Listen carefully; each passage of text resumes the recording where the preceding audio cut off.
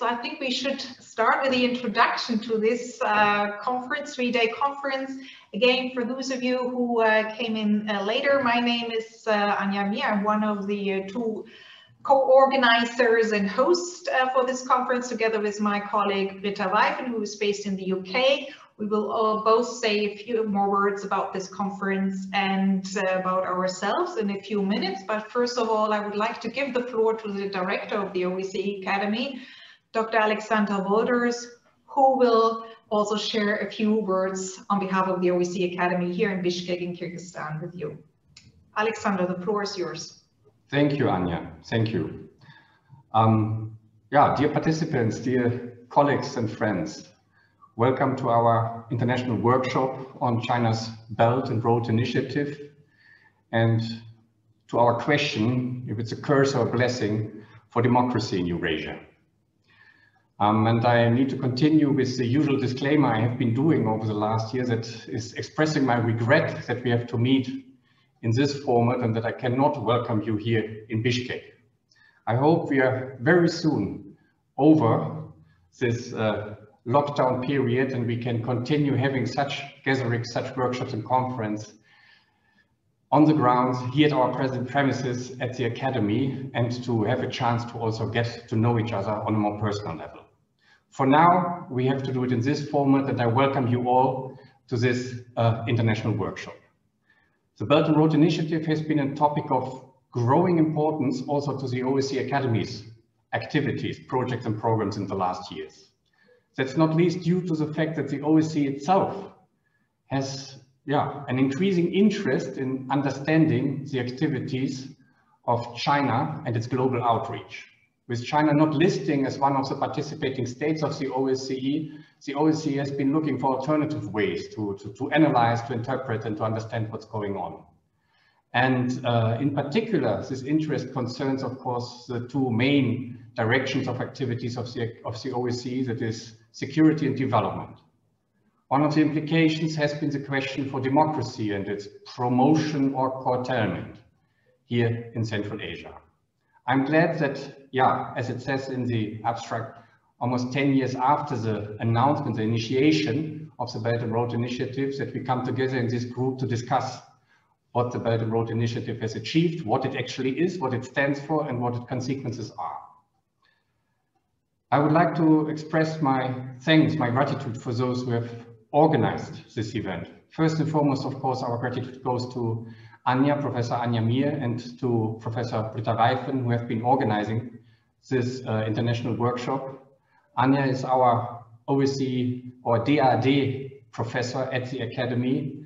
Britta Weiffen is the chair of the research committee of the International Political Science um, Association uh, that deals with questions of the quality of democracy. To both of you, our gratitude for setting up this reputed workshop with us, the Academy as a host. I also would like to thank Professors Pomfret, Professor Holbig and Professor Schatz for their contribution in form of the keynote lectures that they will deliver to this conference. Last but not least, I'm thankful to all of those who have contributed with their um, papers, who serve as moderators and as discussants to make the next three days, I hope, a very exciting exchange about China's role in wider Eurasia. With that, I already come to an end. Thank you so much for being with us and I hand over to the two organizers for further introductory remarks. Anja, Rita. Thank you, Alexander. Um, we'll take this uh, on board and uh, aim, of course, to make this uh, a very fruitful uh, workshop and discussions. Uh, from our side, as Alexander has uh, mentioned, this is workshop event by the Research Committee 34 on Quality of Democracy. Britta is the chair of this research committee and she will say a few more words about uh, what this research committee is doing otherwise apart from this conference.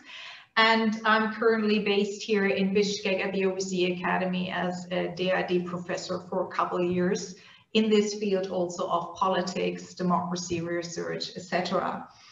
And uh, the topic on um, is China and China's Belt and Road Initiative, which started in 2013, a curse or blessing. When we set up this, um, the, the call for papers about a year ago, um, we weren't really sure at what kind of resonance and responses we would get to this because China, and this is also what we will start today with, um, is predominantly known in, in, the context of the Belt and Road Initiative as uh, um, it's, it's, known as an initiative that fosters economic development, infrastructural projects. It's mostly seen in the context of economic development.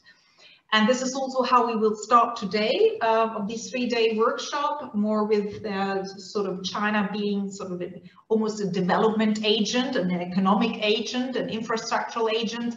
But what kind of um, consequences does have the, in, the initiatives even on the field of political systems, political regimes, and overall in the field of uh, democracy.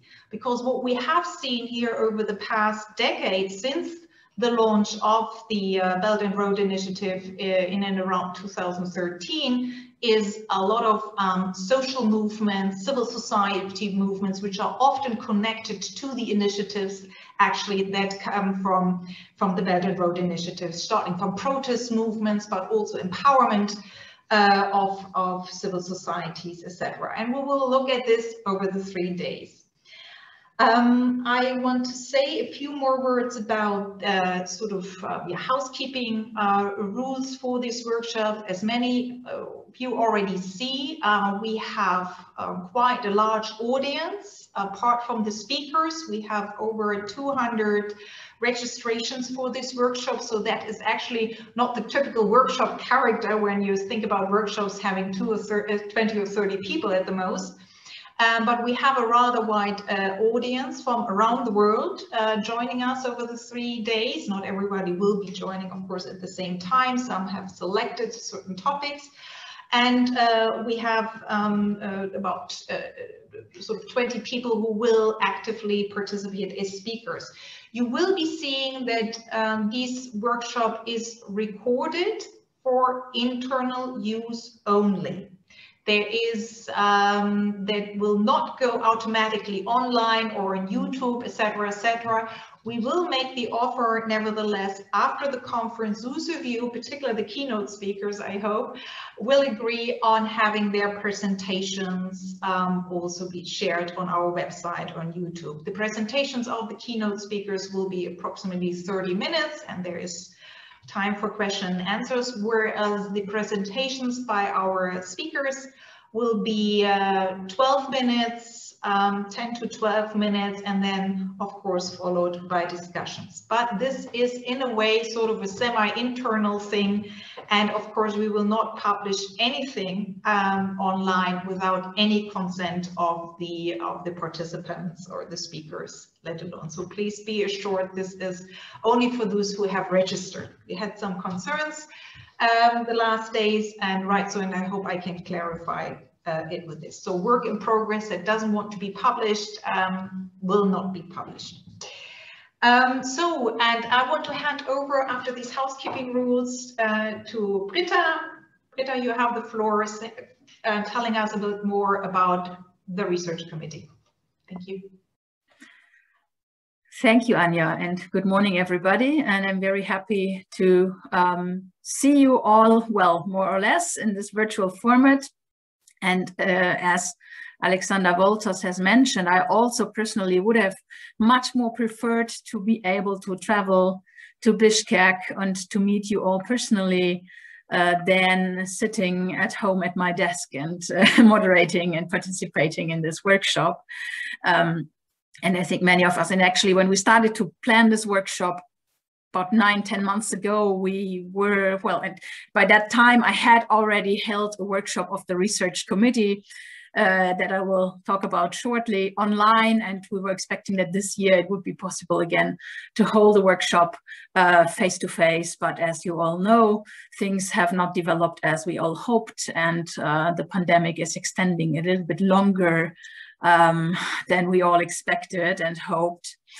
Um, so no promises about next year, but for today we're gonna, and the next three days we're gonna manage like this. And I think this is still also has an advantage of making it possible for more people to follow and join the meeting online who otherwise would not have had the opportunity to travel um, to Bishkek and, and, just to participate, just to listen to a few presentations. So that, of course, is the positive side.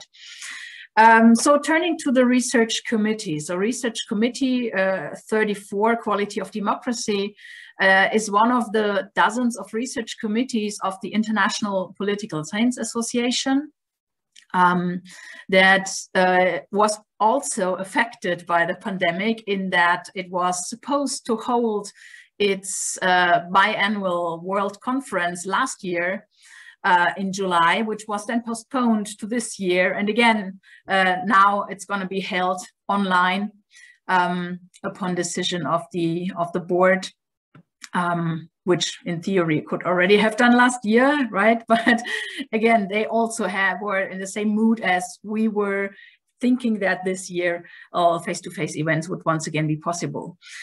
Now, the research committee has uh, a history of more or less uh, 10 years, I think. I think it was informally founded in 2011 and then formalized in 2012 at the then World Congress, I think in Madrid, um, of the International Political Science Association and was initiated by colleagues interested in looking at what after the third wave of democratization that brought a lot of optimism and a lot of research into questions uh, regarding determinants of democracy, causes of democratization and democratic transitions. Um, the research committee looked at uh, a little bit more like um, the cases that uh, were not performing as successful as one would have expected in the initial optimism of the third wave of democracy and looked at uh, questions of, well, quality of democracy, as the name says, um, like in addition to elections, what other char characteristics should democratic regimes have? How can we conceptualize them? So there has also a lot of work has been done about measurement of democracy, how to distinguish democracies, how to rank democracies if you want. And in recent years, this had, has expanded even further um, looking at the fact that even democracies that were thought to be established and consolidated, um, their challenges have arisen and the contestations have emerged. And even on the domestic level, it's no longer as clear as it was 10 or 20 years ago um, that democracy is the best possible system. Uh, the rise of populism, the rise of Trump, the rise of some right-wing populist parties in Europe, just being mentioned as a few examples. And then we look, when we look to the global south, we look at Bolsonaro in Brazil, Duterte in the Philippines, Modi in India, all of them have been singled out as populist leaders that um, have challenged previous democratic developments in their countries. Um, now, and that has increasingly also become a topic of the research committee in the past few years.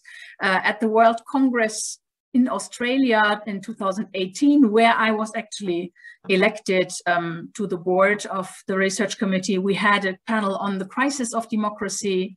Um, and um, we, we've also organized um, workshops in the past, looking at democracy in Latin America, for example.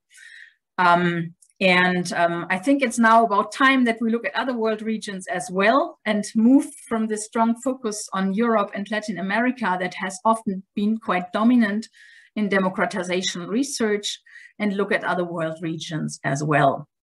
So the research committee basically um, is in charge of organizing um, panels at the bigger IPSA conferences, but then is also encouraged to organize smaller events, workshops, or meetings uh, in between the World Congresses. And um, I've organized, I've, I've, become actually chair um, in the middle of the road. I was elected, as I said, to the board as vice chair originally in 2018. And the then chair resigned in 2019. And then kind of I succeeded her um, to become the chair. Um, and in this capacity, I already organized a workshop comparable to this one um, in terms of um, size and format last year when I was still based uh, at the University of Sao Paulo.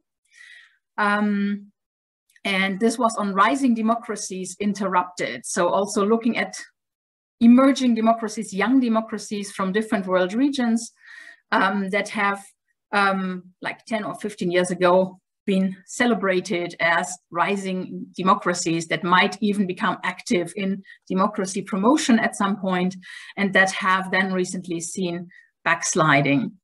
And again, this had originally been planned as a workshop on the spot in Sao Paulo. Uh, was supposed to be a bit of my last event there because I was there as a visiting professor, also a DAAD visiting professor, like Anya is now at the OSCE Academy in Bishkek. Um, and this position, this uh, my tenure, my time there was coming to an end, and so this was uh, an idea. To, the, the idea was to finish it up with a nice event, and it was a nice event actually. And I think some of the participants of the event also signed up for this year's event, and that is also why we had this idea of repeating this experience and doing another workshop. Um, Anya actually proposed the topic now that she is based in Bishkek and has some insights into what is happening in Central Asia and Eurasia more widely. Um, she had the idea of actually looking at the development of political regimes in Eurasia and the impact that China might have directly or indirectly on these developments in the regions and sometimes also well unexpectedly or counterintuitively. And i hope that we can explore this further um, during the workshop. Just saying a few words about myself. I've kind of mentioned in passing already. Um, I'm originally German also and worked a long time at different universities in Germany, including the University of Constance, uh, from where I then moved to Brazil in 2014. Uh, and lived six years there on different positions as visiting professor at the University of Sao Paulo.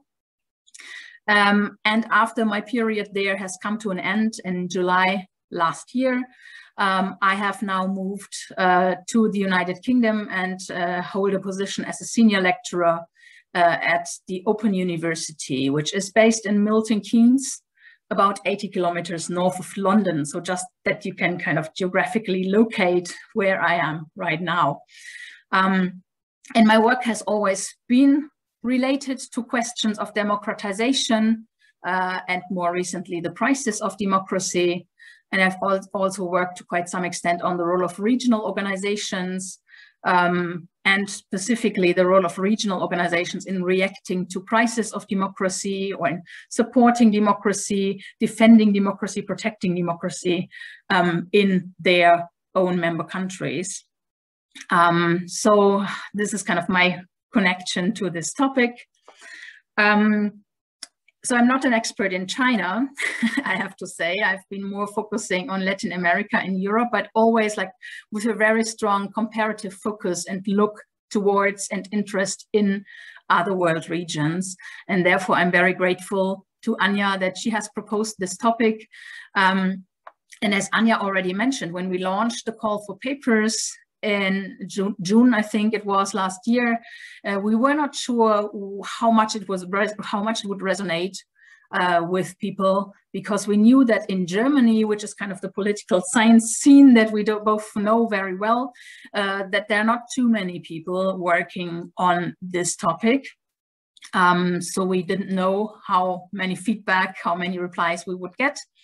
However, that it was a considerable amount of paper submissions and we actually had to select uh, among the ones that were submitted.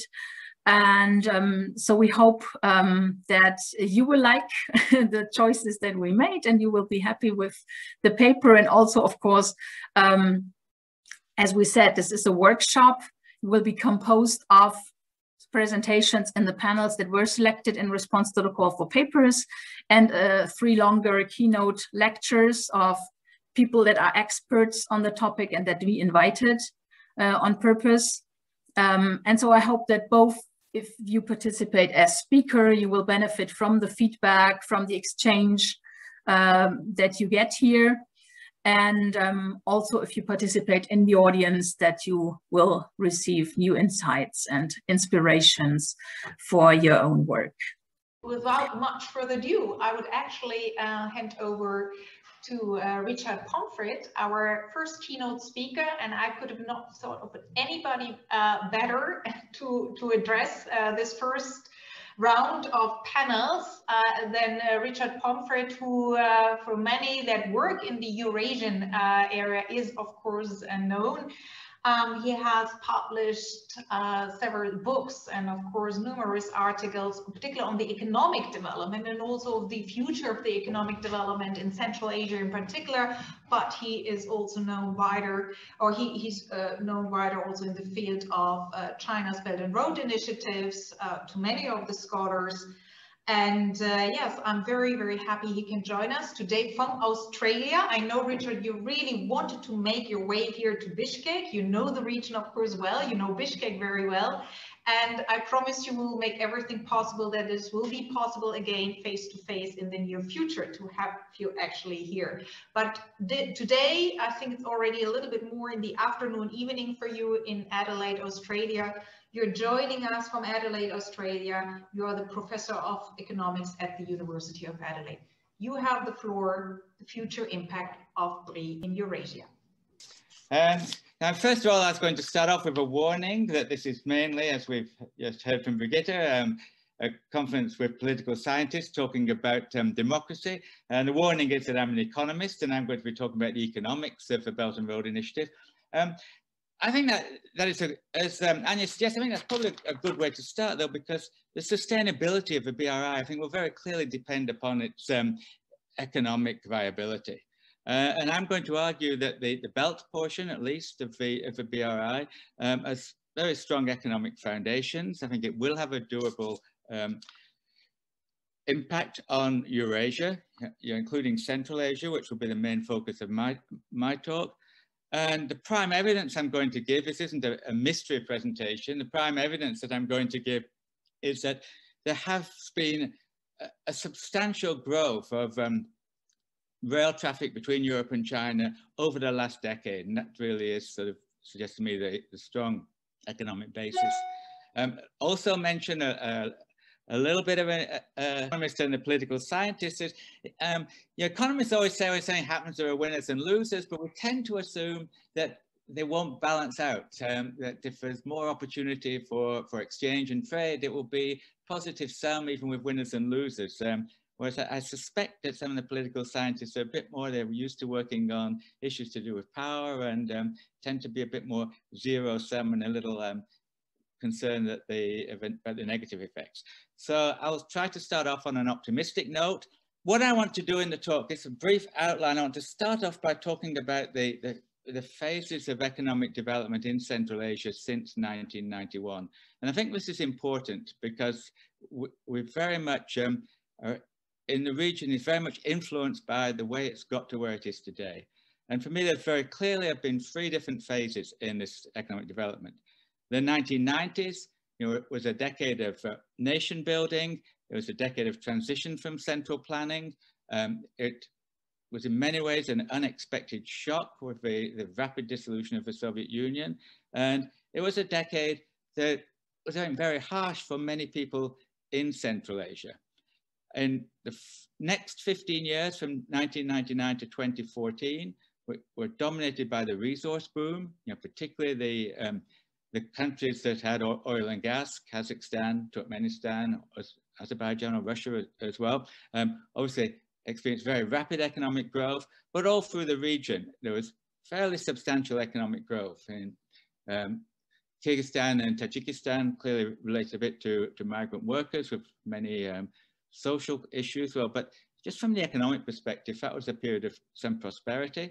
And the period clearly ended, the phase one at the moment in 2014 when the, the resource boom ended and there was some uncertainty, volatility in the economy, um, but general acceptance that there needed to be a new economic strategy aimed at diversification away for, from the narrow resource base. So that's kind of the general background to the region. The second thing I want to talk about is the Eurasian land bridge. I want to talk about the origins of the rail connections between Europe and, and East Asia um, that developed in 2011 and have flourished over the last decade. In general, I want to talk about this by referring to the land bridge as something that's happened a little bit from the bottom up and contrast to the BRI, although clearly it's um, very much, very similar to, much related to the belt portion of the BRI. And I particularly want to look at the impact of the uh, COVID pandemic on this. The third point going from that is to look at the connection between the rail connectivity and the Belt and Road Initiative more broadly considered. And finally, look at the, the consequences of this increased connectivity. I'll say very little about the last point, although I recognize this is the thing we're probably most interested in. Um, as Anya suggested, this is also, I think, the most controversial part about what, what, what is the, the effect. And I'll be really happy to talk about it in the, the question and answer time. Um, so moving forward to going into a bit more detail about this, I think the, the patterns of economic development have been really important because the, the optimism about what would happen with the end of central planning, the end of communism, the emergence of a new nation state, which I think um, led to a lot of disillusionment during the 1990s. And I think we have substantial evidence in Central Asia as well, and more evidence in, in Russia, that when we look at what's happening today, that, that this has had a big impact, that the generation that went through that decade and are now in their 50s um, tend to have a fairly negative attitude towards democracy, towards the market economy. As a younger generation, I think is, um, is more positive on this, but I think that difference between generations, uh, mediated a bit by you know, the people, the wealthy people tend to be a, a, little more cautious about democracy and further change, better educated people are more enthusiastic.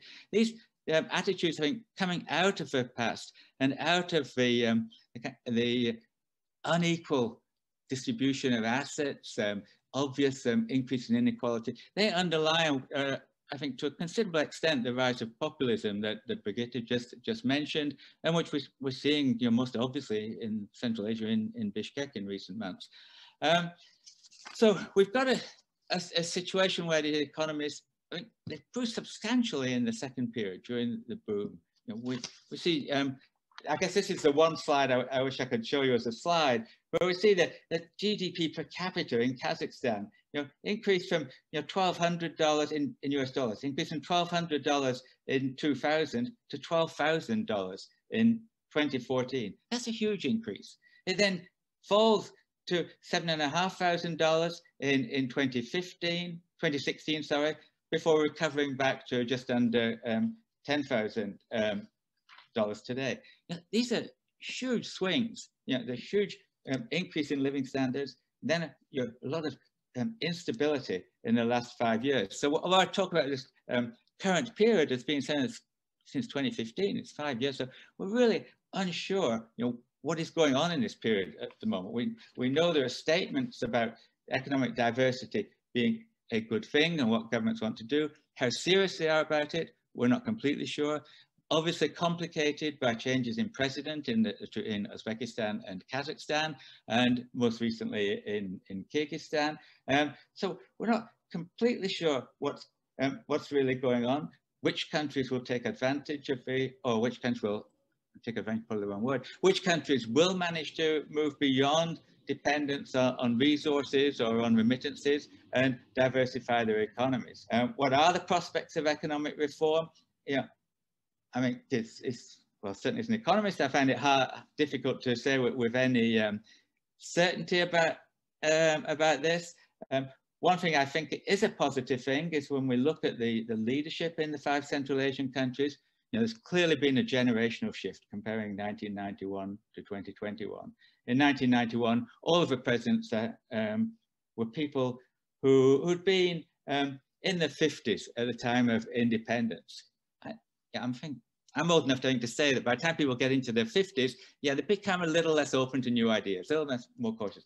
When we look at the, um, the presidents today, these are all people who were maybe um, in the late 20s or early 30s in 1991. They've spent almost all, most of their adult lives in the, the market-based economy um, in the uh, not in, in the Soviet Union. So I have some optimism that there will be um, uh, positive responses through economic reform to be able to take advantage of the opportunities to diversify their economies, but it could vary from country to country. What do I mean by the opportunities to diversify their economies? Well, I think one of the, the main changes I've observed over the, the last 30 years in looking at the economic prospects is that starting in the 1990s and continuing into the early 2000s, there was very little diversification economies. The existing resource base from the Soviet era, cotton, oil and gas, minerals, that continued to be a, a, benefit. These were things that were relatively easy to export. Oil and gas, maybe you needed to construct pipelines, so on. But that was the basis of the economies. And not much happened beyond that. Oh, wow. Um, what's happening here? Uh, I've got a map here. Okay. Um, right. Okay. Um, yeah. And, and the story was that the countries were landlocked, and that was their main problem. I think during the 2000s, 2005, 2006, so a couple of fairly major projects by the Asian Development Bank and by the UNDP arguing that landlocked, being landlocked is not per se a big problem. What was the problem? That it was very difficult and expensive to engage in international trade. That didn't stop trade in the, um, in the primary products, but it did make it really um, not much incentive to develop newer export products. Um, and it's fairly clear if you look at Europe, I mean, it's not been a problem for, for Switzerland or Slovakia being landlocked because they had um, neighbors who were, were wealthy and well connected. And the big change, I think, over the last 15 years for Central Asia is this connections with the neighbors, particularly China, Russia, and Europe, um, have, have improved considerably. And the table that I want to show about this is how much um, the volume of traffic on these um, connections in the map that I have on the screen now, how rapidly that has grown. It really starts in, 20, in 2011. You know, why did it start in 2011? It started then because you know, car firms in, in Germany wanted to send components to their assembly plant in China. They've been doing that in 2007, 2008, 2009 along the Trans-Siberian Railway on trains specially commissioned that didn't have much wider effect because they, they were just commissioned by Volkswagen and BMW. Also, by 2011, there'd been a Chinese policy to shift um, activity inland from the coastal provinces to shift activity to um, Chongqing and Chengdu in the west. Um, we see some very large investments there by Foxconn, who assemble Apple products, by HP with printers, by Acer on computers, by Intel for semiconductors. They planned to ship their products up the Yangtze River to, to Shanghai and then to, to the rest of the world. The, Shang the Yangtze quickly got congested and an alternative was to send them by rail from Chongqing across Kazakhstan, um, Russia, Belarus, Poland to Duisburg.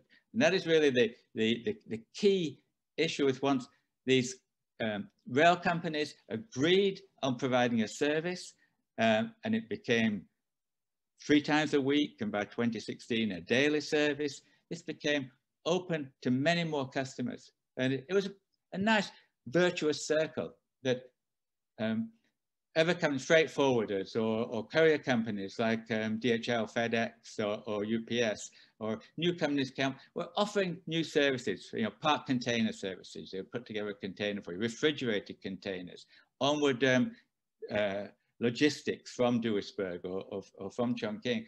And this, the amount of trade you know, then started to grow rapidly, as did the number of destinations. So by 2017, there were at least 30 Chinese cities had trains going to Europe and at least 30 European cities had trains going to, to China. And you know, that diversity you know, made this attractive to many more customers. You know, the table I, I had in my slides was that by um, 2015, starting from virtually zero in 2010, by 2015 there were 46,000 containers a year going on, on, this rail connection between China and, um, and Europe. By 2019, it was 333,000 containers, you know, very rapid growth. And what's even more striking is that last year, the number went from 333,000 to 547,000. Yeah, so a huge increase, yeah, despite the disruption of COVID. Yeah. Um, so what, what's happening here? What, why is this happening? Why, why is it uh, uh, so attractive? Well, a lot of it is to do with the major development in international trade over the last 30 or 40 years. There's been increased fragmentation of production along um, value chains, often referred to as global value chains, but more commonly, you know, regional value chains in Europe or, or in Asia. Um, so it's hard to know exactly where a product is made. Uh, you know, uh, a car, a, a, Volkswagen car has got components from all across Europe. Um, or if it's assembled in, um, in China, it's got components coming from Europe and many other places. Um, so we've got this phenomenon of global value chains. And the crucial thing for global value chains is that you have, uh, you don't keep inventories. You want to move goods swiftly from to the next stage of production. And if you're crossing international borders, you want no delay, no tariffs, etc. And that, that is a phenomenon that, that has been going on, you know, especially in Europe and in East Asia. But the, the rail links are linking these two regions together.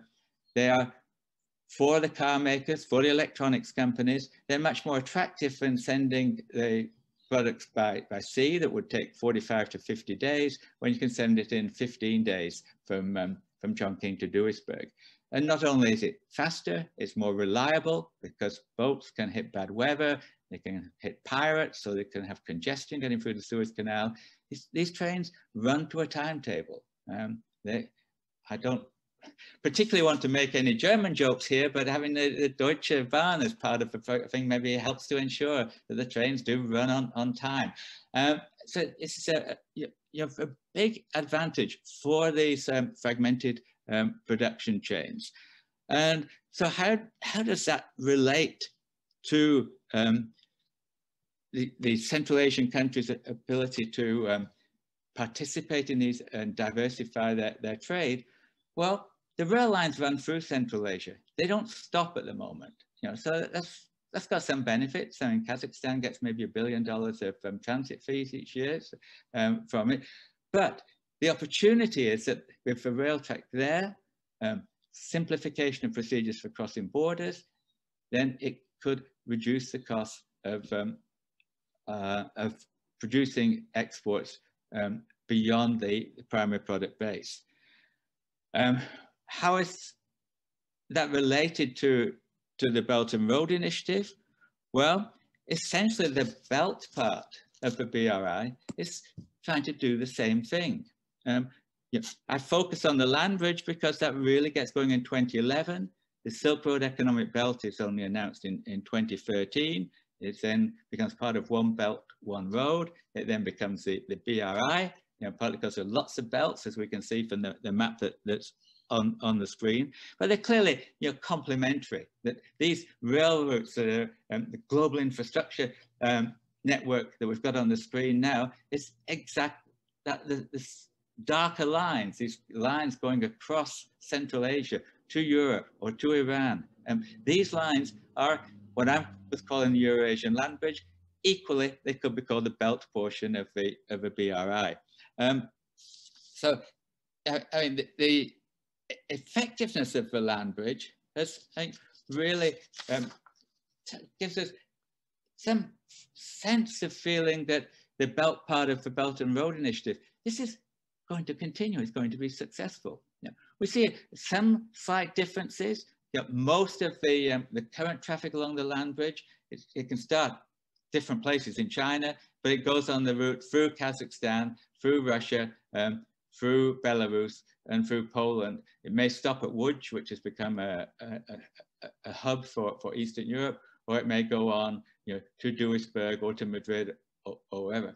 Um, one of the things that is clear from the start of, of, of, China's BRI, the official maps that were coming out as far back as 2014 emphasized a route going south of the Caspian Sea.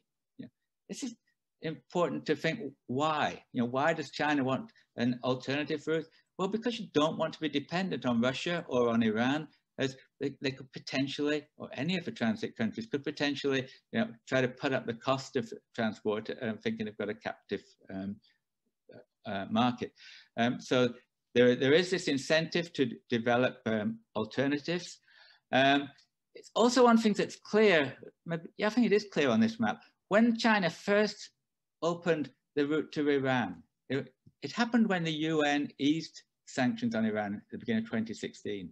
Very quickly, China sent the first train to Tehran and it went through Kazakhstan, right across to the Caspian Sea, then down through Turkmenistan to Tehran. Why does it go on that circuitous route instead of you know, cutting across the hypotenuse here? Well, because in 2016, Uzbekistan was a difficult country to cross. They had very uh, rigid rules on transit. You had very thorough customs inspections when you entered a left country. Um, the government would not respect you know, the seals on a, a train that's just um, traveling through, through. So you, it's very clear that I think to the Uzbek authorities, it was very clear. These are the costs if you um, want to try to protect your borders by, by more um, regulations.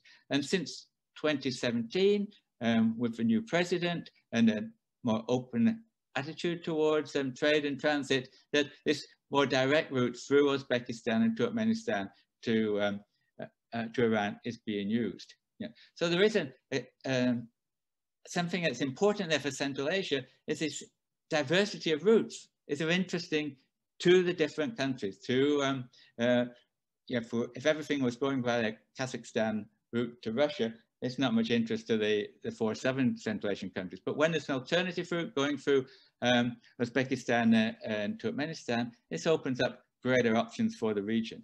I'd also very briefly mention this um, line that's coming here down from Urumqi to um, to Kashi, to Kashgar, which is the most westernmost point on the Chinese rail system. Kashgar is only a couple of hundred kilometers from Uzbekistan, but there's no connection there. So China and Uzbekistan would very much like the, this connection to happen. Kyrgyzstan is very reluctant to be involved in taking a loan to build the connection because the, the estimated cost is about equal to Kyrgyzstan's GDP. So this is a prime um, exhibit, I think, in concerns about debt dependence from the BRI, that if um, Kyrgyzstan were to take a loan, build this line, it's per perhaps not likely that they could pay back the loan because it goes through an, um, a not very populated part of the country, um, would not raise much in revenue in business apart from the transit revenues. So um, I think we, we can see you know, some of the, the potential benefits from having a denser network, having more options for, for trade.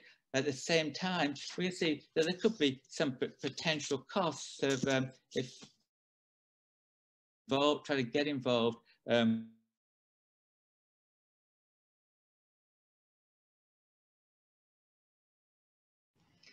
um, Richard, I think we've lost you. You are muted and frozen, at least the picture.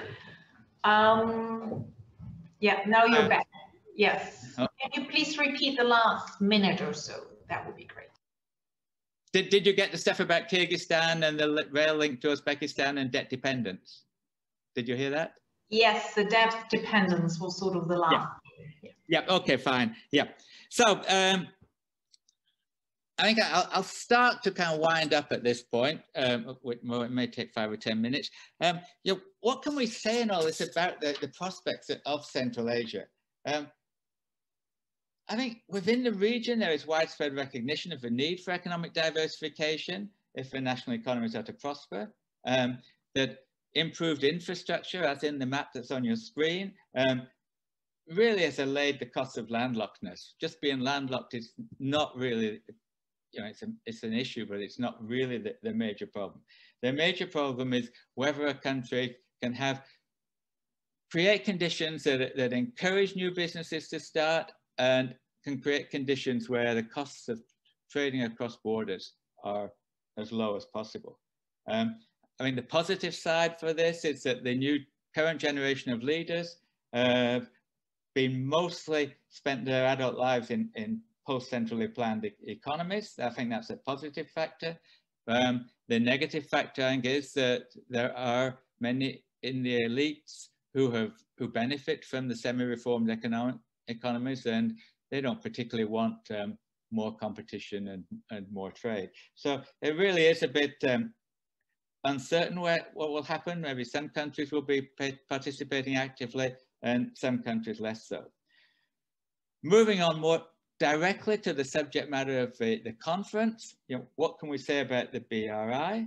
Well, uh, as I started off, I think the sustainability of the BRI depends crucially on its um, economic viability. And I think uh, that is very strong, that the, um, the belt component of the BRI is based on you know, really um, strong uh, economic fundamentals, the benefits of linking by rail um, the economies of Europe and to China um, just, um, are, are, really strong. Why has it been stronger during COVID? Why did we have a big increase in the um, volume of traffic you know, from whatever 330 uh, containers to 550,000 containers, so, you know, huge one year increase when you know, we tend to think economic conditions were not so great. The reason was that COVID emphasized the benefits of using rail for transport for its speed and reliability.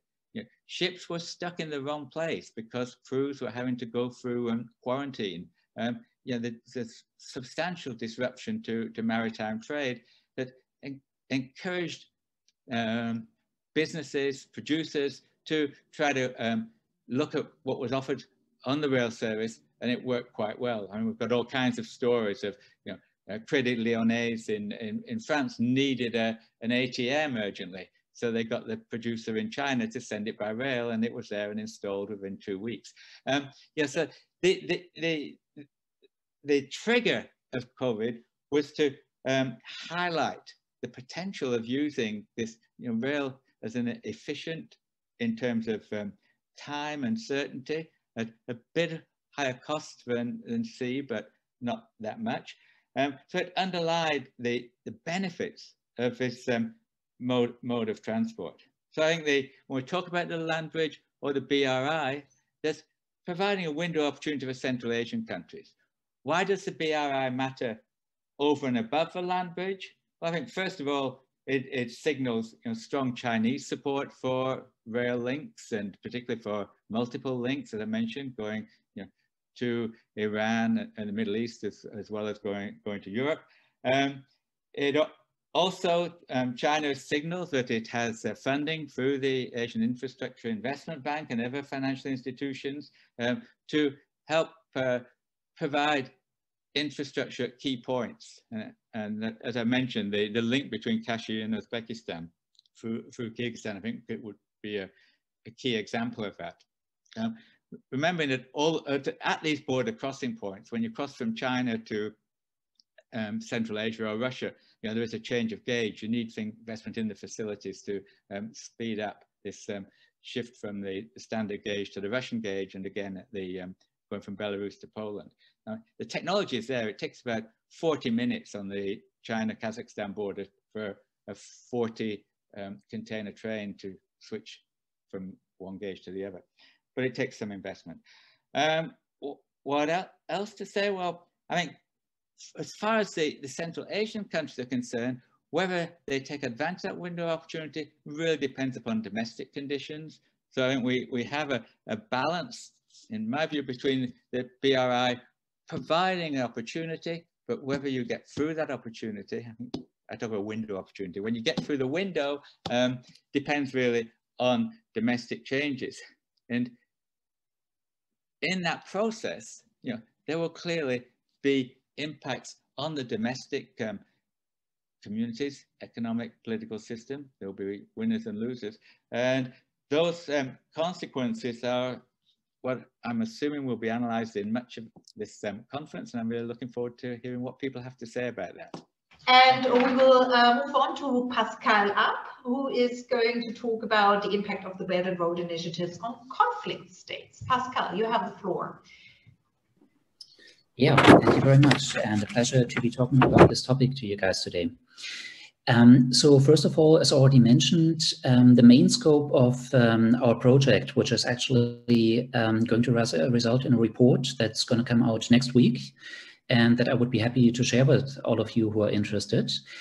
um, was mainly on conflict dynamics, uh, not on democratization. Um, but I believe that the research we did also has some salient aspects in that regard. And those are the points which I'm going to be focusing on today. Um, first of all, I believe our report is pretty complementary to the work which Marketa just introduced because it's not uh, quantitative, but uh, case study based. And we had a total of four case studies, uh, Pakistan, Myanmar, Kyrgyzstan, and Uganda, the last of which I believe is outside of the geographic scope of this conference. But I'm going to be presenting the cases of uh, Pakistan and Myanmar. And I'm actually very happy that one of my co-authors, Ilya Jones from Saferworld was also uh, able to join us today, and he's going to cover uh, Kyrgyzstan in a few minutes. Um, so when we look at Pakistan and Myanmar, we found some commonalities that I believe applied both to the democratization as well as the conflict aspect. So both of these are multi-ethnic and post-colonial states with severe levels of ongoing inter-ethnic or in the case of Pakistan, also sectarian violence. So they have a very long history of uh, center-periphery tensions. There's, there's a majority ethnicity, the Bamar in the case of Myanmar or um, the Punjabis in the case of Pakistan, that has historically held the most power in those countries and a range of minority groups that have been left out. And that is, uh, in a very, very simplified way, the root cause of many of the conflicts which we're seeing there. Um, there's also, apart from the um, yeah, great. Um, also apart from the power sharing aspect, also pronounced developmental differences. So the map which you're seeing right now um, is district level HDI figures for Pakistan. So green denotes higher levels of development and red lower levels. And overlaid on that is a map of um, BRI or so-called CPEC, that's the China-Pakistan Economic Corridor projects. So CPEC in its initial stage had two priorities. Um, the first one of which was connectivity, that's shown here in yellow. And the second one was uh, electricity generation, so power plants, which are the blue triangles. And as you can see, those projects are heavily clustered in areas of Pakistan that are already comparatively highly developed. So that's um, what you may be able to make out uh, Karachi in the south and uh, Lahore and Islamabad um, more towards the northeast. And if you look at the red areas in this map, those are the um, peripheral areas of Pakistan that are uh, mainly populated by minorities. Um, that is Balochistan in the southwest and um, the Pashto areas on the border to Afghanistan. And as you can see, that's actually where the least CPEC-related development took place. Um, so what happened there? Um, this, this is actually something where CPEC very directly interacted with uh, local politics in Pakistan and also had an impact on the country's democratic structures. So Pakistan officially has a, a, federal government. That means that lower levels of government are supposed to have a say also in, in how these um, projects are being designed. Um, but that kind of broke down in the case of CPEC. Um, so in a nutshell, you had multiple institutions that were supposed to give lower levels of government the kind of input to also have their priorities heard. But that, for a variety of reasons that I think I can only very briefly summarize here, didn't happen. Um, and that resulted in a situation where uh, we also saw an overall loss of trust in these democratic institutions. So in national level parties, in uh, all party conferences, in power sharing agreements, and so on. And a lot of that had to do that I think we had a two-level game um, that also involved negotiations with the Chinese side and the Pakistani government actually um, tried to initially pitch projects that were not, not economically viable or at least could not be, uh, they could not reach agreement on with the Chinese. So, and as a result, you had this uh, kind of unsatisfying situation where the areas of Pakistan that were the most in need of development got the least, uh, least amount of projects. And that's actually a crucial factor here. The complaints about CPEC in Pakistan are not, not so much about uh, negative effects of projects, but they come mainly from groups that would have liked to see some of them, but didn't get any. Um, when we move on to the case of Myanmar, Myanmar is um, very different in some regards, um, also similar in others. Um, it's similar in that you also had uh, a long history of Chinese investments, especially in the infrastructure sector. Um, that was mainly due to the uh, economic closing off of the country during military rule. Um, this, this kind of changed a little bit during democratization, but China remained a major player in the country. Um, so in here you saw some pretty interesting dynamics um, because China-Pakistan relations had actually been relatively good um, on various levels, um, but the development of CPEC eventually resulted in a stronger role for the military. That's something which I should have mentioned is also a common factor between the two countries, that civil-military relations are very tense and the military has historically had a large um, political influence.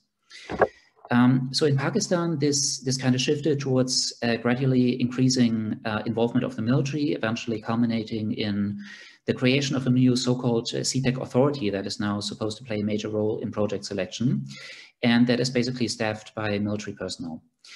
Uh, in Myanmar, under democratic transition, you had kind of an opposite trend. Um, so here, it was the incoming democratic administration, especially under the National League of Democracy and Aung San Suu Kyi, um, that actually was, was a driver of um, uh, Myanmar's involvement in the BRI. And the reason for that was that um, basically the NLD had a much greater legitimacy than any of the military governments or quasi-civilian military-backed governments that preceded it. Um, and this is why uh, it actually was a very attractive partner to China. And I believe when you look at the most recent events, the coup, um, we actually have a separate text on that one coming out today or also early next week. Um, this is something where Chinese plans for the country were actively disrupted by um, the turn away from democratization and turn towards autocracy. Um, I also have some general conclusions about that, but before I get to that, um, I would actually like to, uh, to pass the microphone to Ilya, who is going to cover the case of Kyrgyzstan, which I can imagine you guys are also very interested in. Great, thank you very much. Um, I hope you can hear me. Um, very happy to be joining you today. Uh, my name is Ilya Jones. I'm the Regional Conflict and Security Advisor uh, for Central Asia at Saferworld, uh, which is a peace-building organization uh, with projects um, in Kyrgyzstan and Tajikistan as well. Um, I'm actually usually based in Bishkek, uh, so I may have crossed paths with um, with some of you there, but uh, for the moment I happen to be in the US. Um, and as uh, Pascal mentioned, I contributed to the Kyrgyzstan um, chapter case study of the report. Um, so I only have a few minutes, so I'll just talk through some of the main points, um, which I'm sure will be picked up in more detail in the Central Asia sessions uh, tomorrow. Um, uh, and yeah, as, as was mentioned, the report itself mainly focused on conflict dynamics and local level impacts of Chinese investments. Um, but I'll just pull out a few uh, points that are more relevant to uh, governance aspects. Um, and since many of you are in Bishkek, I assume um, already quite familiar with, with the context, so I won't go into much background. Um, but as you know, uh, China has seen a, a rapidly growing uh, role uh, in the economic sphere in Kyrgyzstan, uh, with many of its projects and investments bringing various benefits and challenges. Um, just to outline a few of those benefits, many of our interviewees for this uh, research cited, um, you know, jobs, increased revenues for some businesses, um, skills programs, uh, social benefits packages, and um, taxes going to local budgets. Um, but despite these benefits, um, the public is largely still quite opposed to Chinese investments and uh, generally has uh, a negative view um, of China in general. and this is visible in a few ways. Uh, for example, you know, on the Oxus Society's uh, protest database, uh, we counted that there were dozens of uh, protests in Kyrgyzstan in the last year, few years that were in some way um, related to China. Um, not all related to investments necessarily, but um, they're kind of an indicator of the level of public uh, skepticism and mistrust. Um, and a lot of the reasons for this relate to issues I mentioned earlier on impacts on local communities, but there are some um, related to governance more generally as well. Um, so for example, um, a perception of investments uh, feeding into corruption. Uh, so in, in some of our interviews, it came out that uh, Chinese actors are largely willing to play by um, local rules, by paying bribes, and so local politicians or officials can benefit from this um, or find other sources of income uh, from these projects. Um, and it doesn't help that uh, these deals are often struck um, directly between companies and um, local officials with uh, limited consultation um, with local populations and not very much communication on what the projects involve in many cases. Um, and there have been some high profile cases that illustrate this, uh, such as the uh, thermal plant in Bishkek, uh, where Chinese financing was seen to enrich elites and around which there were some uh, corruption scandals. Um, and when the plant itself failed a few years ago in the middle of winter, this kind of created this uh, or contributed even more to this perception of uh, funds being channeled into uh, these projects that don't have many benefits um, for regular people. Um, and this is kind of in, in, contrast to the position of um, uh, some of the officials. So there's quite a divide, I think, um, in perceptions of Chinese investments where government officials are largely supportive of such investments and see them as an important source of funding for their budgets or sometimes personally. Um, they don't always take this position publicly because uh, it can be controversial, um, but many are seen to benefit uh, from these deals. And on the other hand, the public, uh, which is largely quite opposed to them. And so this creates another point of um, kind of contention between uh, people and their representatives, um, which you know contributes to protests and feelings of discontent and not having much say over the decisions that affect their lives. Um, and I think another important point to mention is the long-held belief of um, you know, China threatening Kyrgyzstan's autonomy, uh, which has historical roots, um, especially because of the shared border, but fueled by you know, recent events and media coverage in which um, you know, the Chinese, uh, you know, stories of the Chinese government gaining assets in foreign countries, or um, you know the, this uh, debt trap narr narrative that um, might often come up in in uh, debates around uh, Chinese investments, um, and this concern is quite high in Kyrgyzstan because of the the huge uh, portion of debt owed to China uh, in the country. Um, so there are you know various plans on how to repay this, and some are, and so it often comes up uh, in discussions as well. Um, and yeah, in terms of you know governance styles, I think um, it for China, one of the main concerns in Kyrgyzstan is stability, both because it's a country on its border um, and also because it wants to make sure its investments are, are safe. Um, and so as a result of this, there have been a lot of, you know, a, the use of private security contractors uh, in Kyrgyzstan, which can contribute to feelings of uh, tension or uh, militarization in some of the, the sites, um, the investment sites. Um, but apart from this, uh, I don't think at, at the moment there's uh, too much, um, you know, efforts to meddle in kind of internal politics, um, apart from promoting these interests around uh, stability and trying to, um, yeah, safeguard its investments. Um, I guess one thing to mention, I'm probably running out of time, uh, is that uh, um, Chinese government will be concerned about uh, you know, countries following some of its key policies on issues like Taiwan and uh, Xinjiang. And so um, this kind of factors in as well. Um, this is, you know, largely a acceptable arrangement for both governments, but I think is another point of contention between the citizens and its government and, and their government, um, you know, where popular, there's quite a lot of popular opposition to policies in Western China, especially, um, whereas the government is largely um, not taking this up because of the economic imbalances uh, between China and Kyrgyzstan.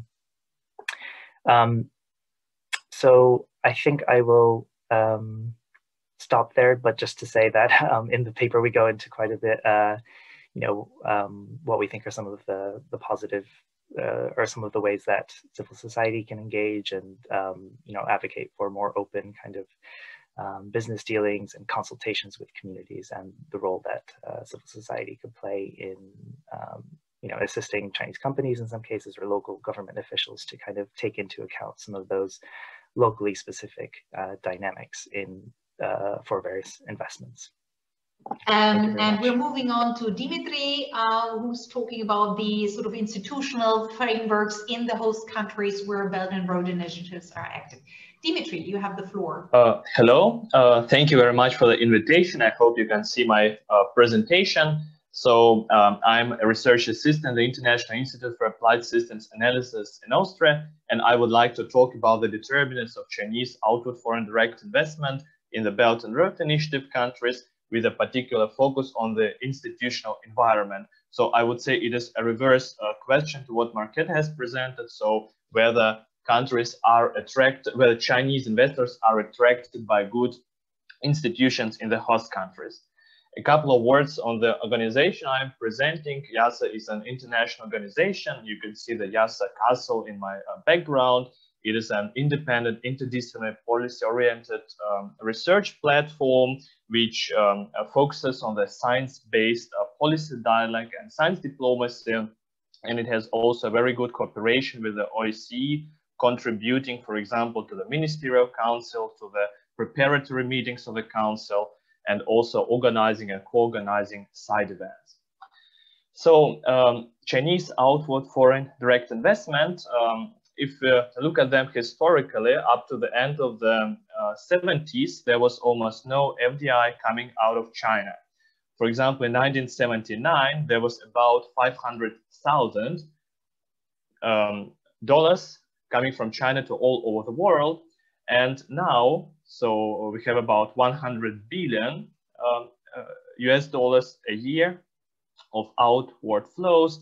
And in 2016, we had a peak with more than 200 billion um, US dollars uh, flowing out of China a year. So if we compare it to 1979, when the uh, policy of open door was launched about that time, it is an increase of uh, 500,000 times. Um, if you look at the structure, then uh, most of the of um, Chinese uh, flows go to Asia, and there is uh, some kind of a tax haven bias. We see that in 2019, 66% uh, of FDI went to Hong Kong, and it is found in the literature that then 30% of this amount goes further to the rest of the world, 40% is round trip back to China, and the rest stays in Hong Kong. Uh, top sectors China is investing into are leasing and business services, Again, this tax haven bias, manufacturing, finance, also retail trades. Um, the uh, resource sector, I would say, is rather underrepresented if you look at the direct FDI flows from China to the host countries.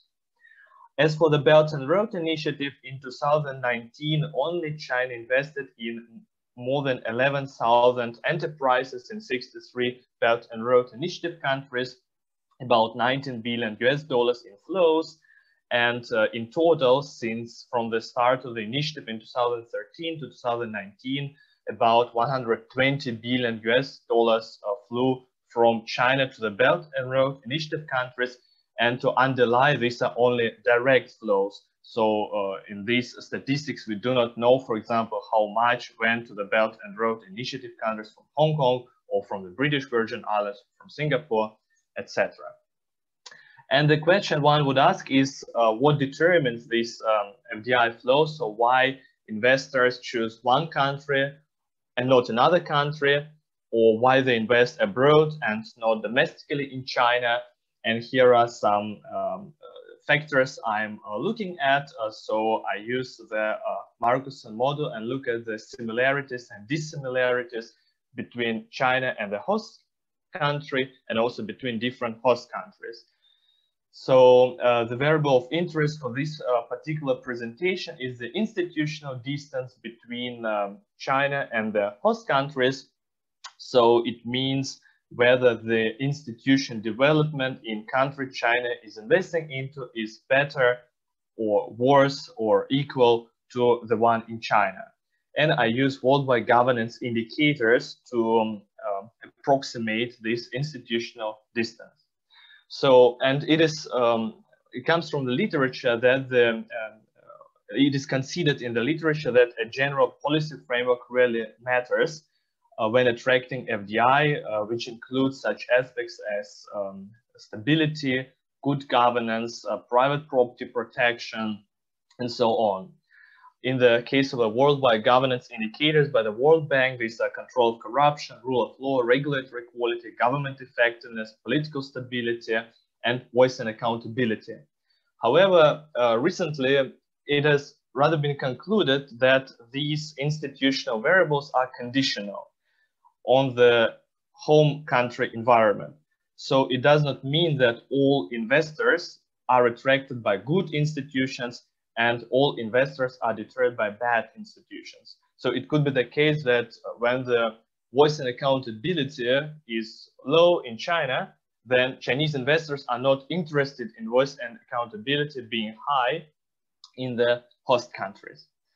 uh, one more issue about the governance indicators and about their measurement is that uh, many of them are overlapping and tautological in their definition, but also statistically because they're highly correlated. And it is especially true for the control corruption, government effectiveness, regulatory quality, and rule of law. And they are often um, approximated by, by some kind of a, a weighted average. And I also uh, use it here and uh, follow uh, the European Bank for Reconstruction and Development, who also use, that also uses it to capture the um, level of uh, development of economic institutions.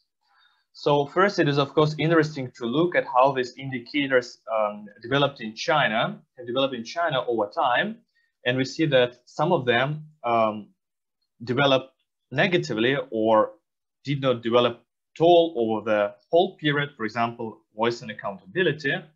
And it is also one of the findings that it is not at all, not significant at all, and doesn't matter for Chinese investors. And I think it is in line with what we see that it is at a very low level in China. Uh, some have uh, developed quite good, um, as is the case with the uh, government effectiveness in China, and uh, some have changed uh, a little um, also in this uh, period. So briefly on the results, and have marked green those that are um, significant. So I find that um, trade between China and host country is an important indicator, which means that trade and investments are complements uh, for the uh, Chinese investors. Uh, China prefers countries with similar market characteristics. It prefers markets that are growing faster than the Chinese markets. It prefers countries with a low corporate tax rate. The interesting was finding was that the Belt and Road Initiative itself had a highly significant impact. So China really increased its investments into the Belt and Road Initiative countries after the introduction of the initiative. These governance indicators are found to be negative and not significant.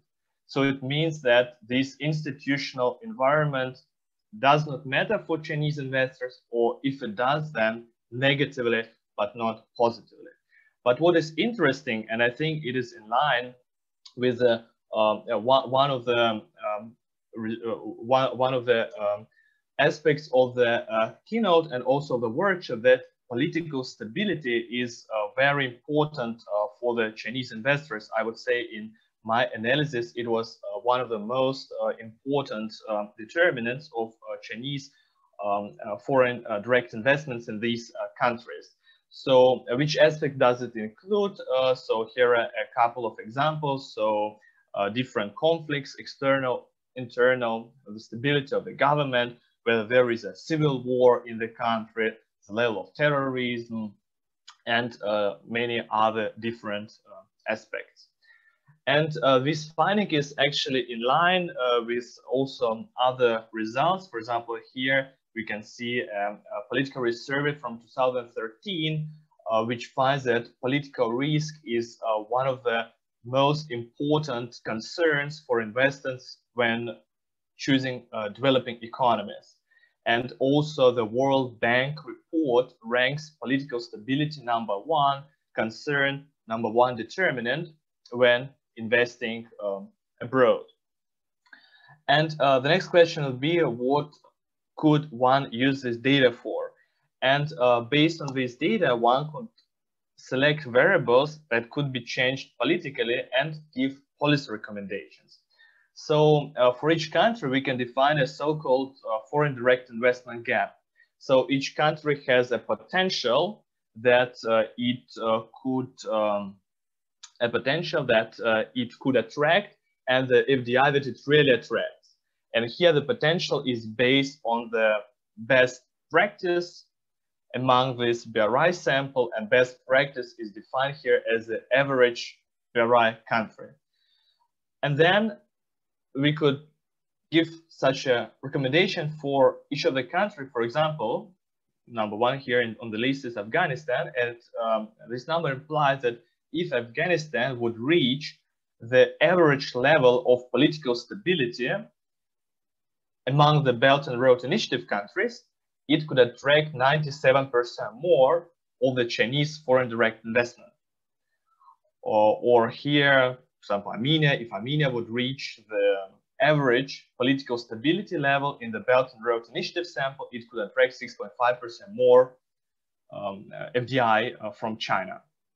Uh, and another thing that can be influenced uh, politically and also in the short term is the um, corporate tax rates. So uh, if a country would uh, reduce their its corporate tax rate to the average corporate tax rate in the sample, it could also attract more Chinese FDI. So again, for example, here in the case of Bangladesh, Bangladesh um, uh, uh tends to have a high uh, corporate tax rate. So it means if Bangladesh would reduce its corporate tax rate to the average corporate tax rate in the Belt and Road Initiative sample, then it could attract 26.5% more FDI from China. Um, so uh, to conclude, it is found that this broad institutional environment consisting of control of corruption, rule of law, regulatory quality, and government effectiveness uh, matters negatively, but insignificantly for Chinese investors. So uh, we could say that uh, for them, it is not that important. The, the level of institutional development of the host country is not important. However, what really matters is the level of political stability. So whether there are internal, external conflicts, and um, based on that, uh, we could uh, give these uh, policy recommendations on how to improve uh, the investment uh, policies, how to attract more foreign direct investments. And uh, here it is important to understand that these um, policies also have many other positive spillover and multiplier effects. For example, of course, the increase of political stability would not only attract more FDI, but it would also have uh, many other positive effects on the economy and society of the of the uh, host country. And in this regard, the next step could be uh, to calculate uh, costs uh, which are necessary to implement uh, such a policy measure. For example, in the case of a corporate tax rate, I think it would be easier than in the case of the political stability, than to calculate all the potential benefits and to make some uh, uh, to make um, a cost uh, benefit calculation to decide which policy measures actually to introduce. Thank you. So without further ado, I would like to come to the introduction of our uh, keynote speaker for today, Professor Heike Holbig, who joins us from Frankfurt in Germany, I guess. So she's a professor of political science with a focus on Chinese and East Asian area studies at Goethe University, based in Frankfurt in Germany. Um, and uh, at her chair, and she personally does research on contemporary China and the contemporary social and political transformations in China, with a particular focus on comparative authoritarianism, regime transitions, uh, and also the evolution and diffusion of norms, the influence of discourses and framing processes on the behavior of political and social actors. And so her talk today is also going to focus on, I think, a bit more conceptual questions of um, what are the official visions of democracy, of democracy in Xi Jinping's China. And I'm very curious and looking forward to hearing your talk, Professor Heike Holbig. Well, thank you very much. Thanks to all of you for having me, particularly to Brigitte and to Anja for organizing and, and uh, coming up with this idea of a topic of such timely relevance, and also to the OSCE Academy for hosting this event. I'm very happy to share my thoughts about official visions of democracy in China something that I guess most of you might think is a phantom. Um, therefore, I'd first like to clarify that while I have been invited to talk about this topic, and I'm really a sinologist expert on China, but not on Central Asia. So this is really about the Chinese case. Um, the objective of my talk is not to normatively evaluate Chinese democracy or even to euphemize official attempts of political self-legitimation. Rather, what I would like to do is to contribute to a context-sensitive understanding of the self-perceptions and worldviews of China as a major global power and an increasingly important actor in Eurasia, in the region that this workshop is focusing on. To put it differently, this is a keynote lecture and the key I have chosen for this is not D major, democracy with the capital letter that would be as we usually apply when we discuss democracy in Western countries or when we deplore the backsliding of democracy in hybrid regimes across the globe.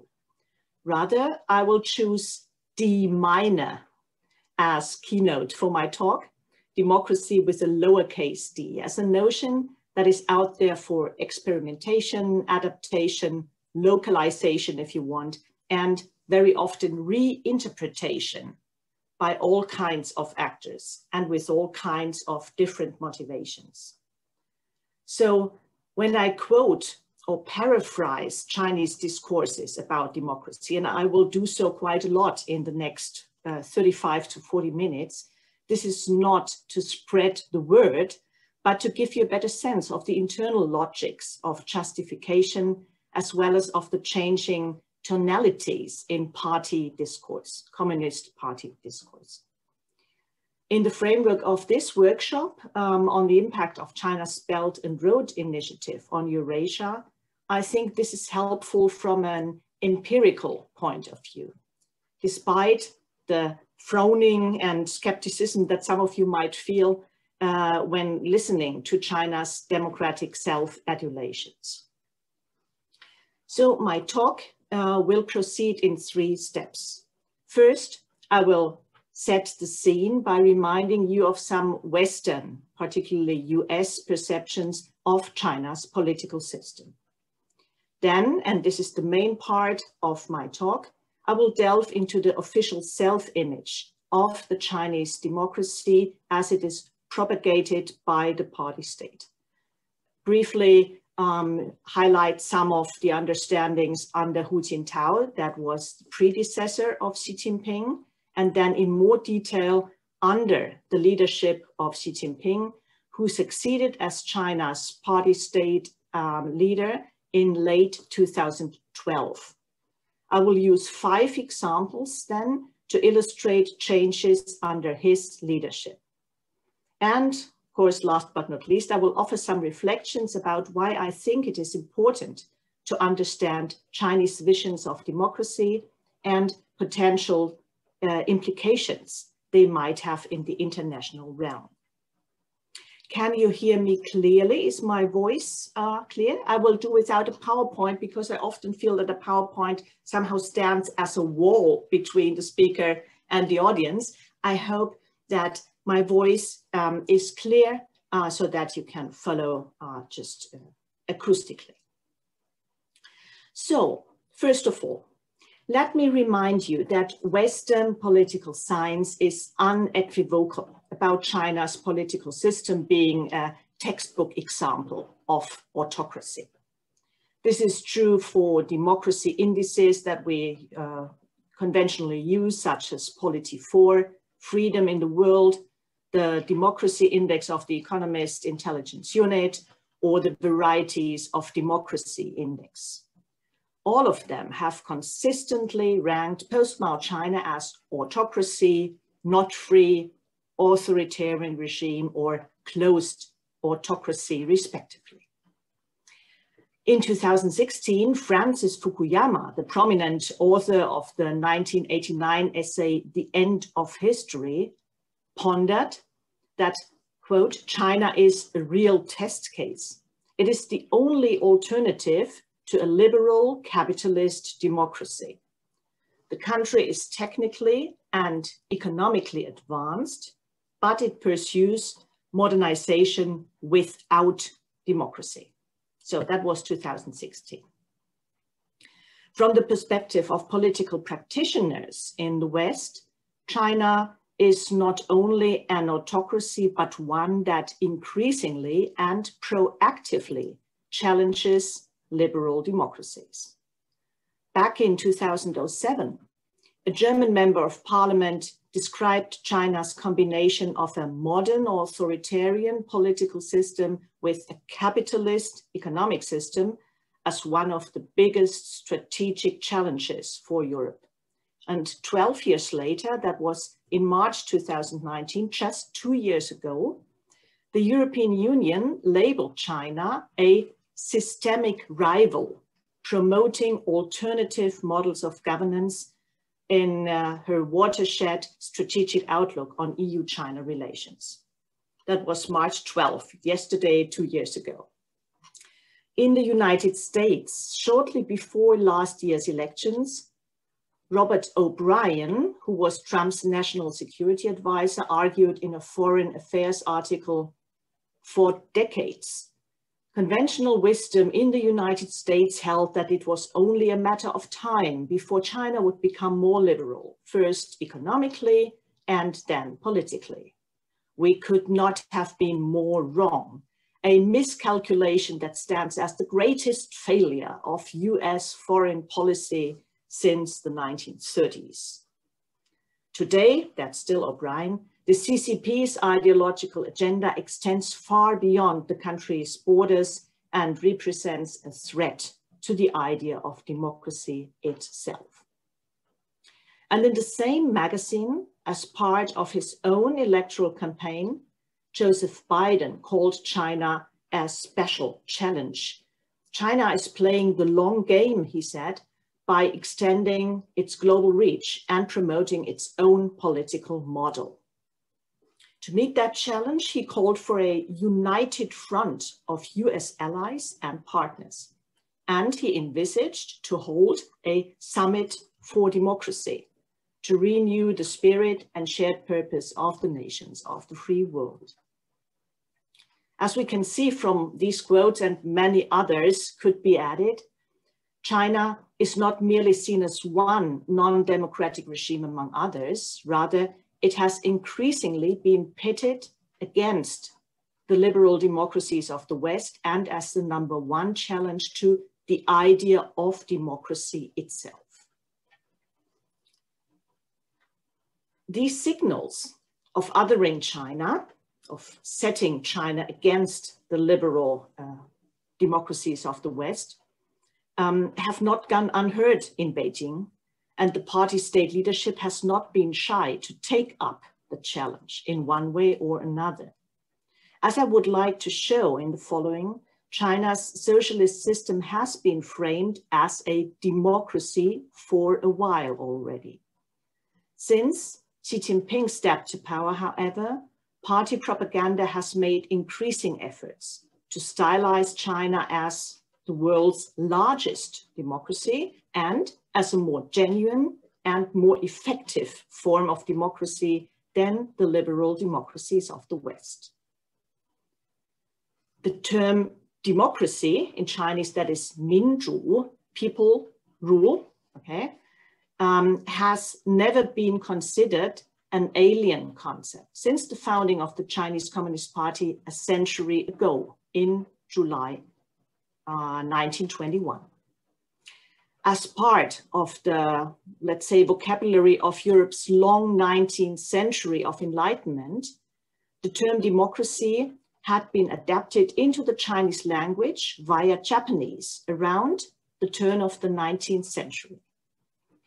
In a social Darwinist worldview that was prevalent then, um, it denoted, democracy denoted the quintessential modern, civilized and sovereign nation state with all the prerequisites to prevail as a nation in the survival of the fittest.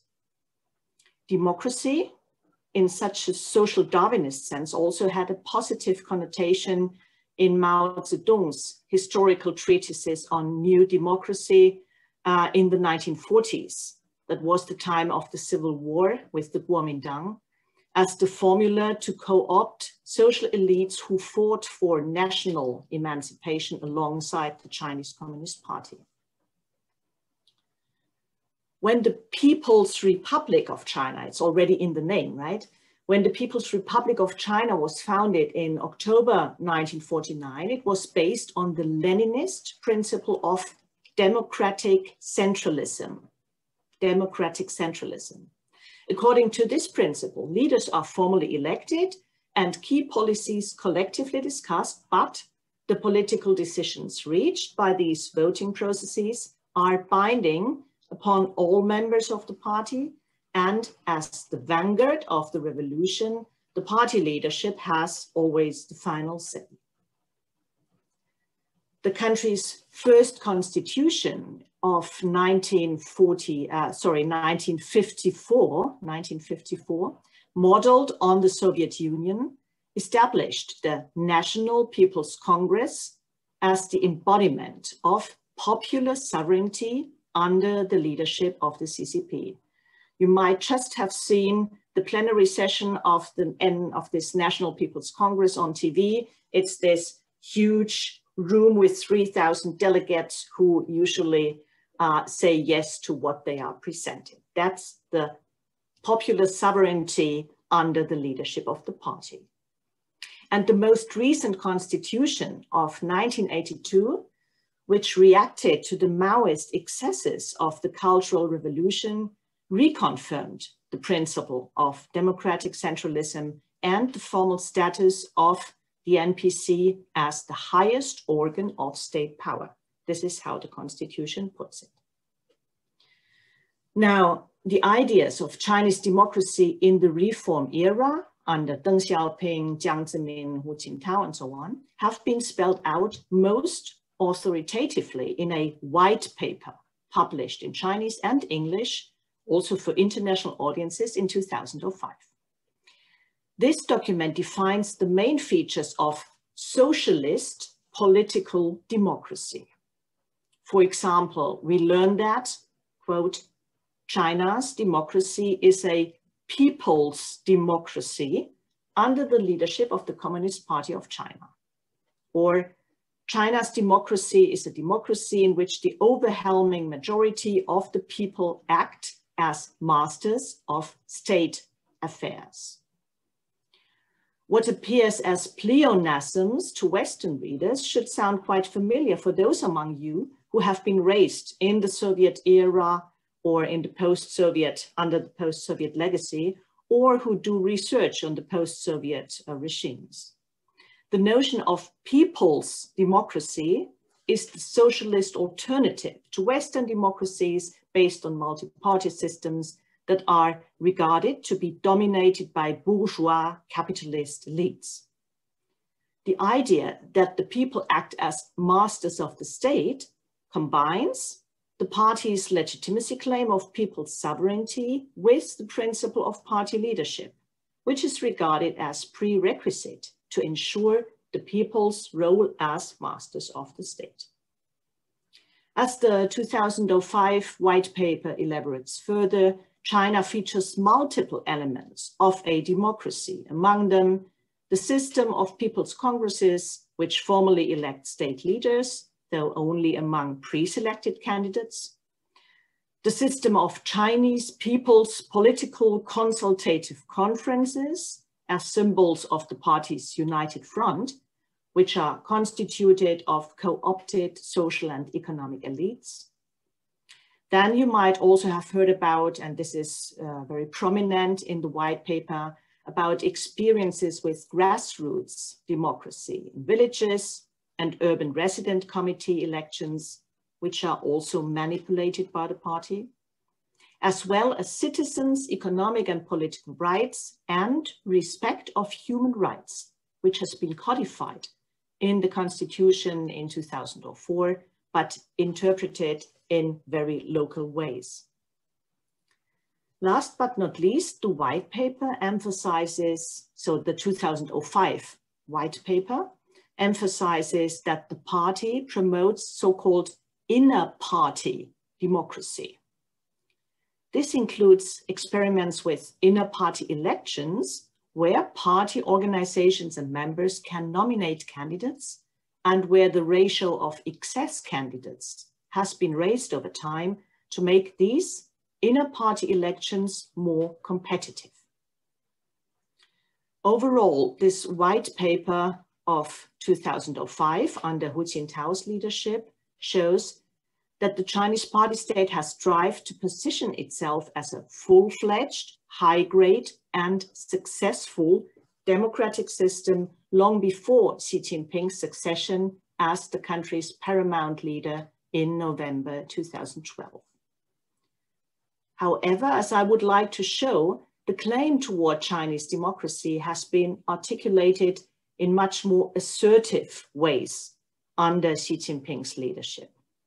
Let me illustrate this um, and the official visions of democracy in Xi Jinping's China with five examples.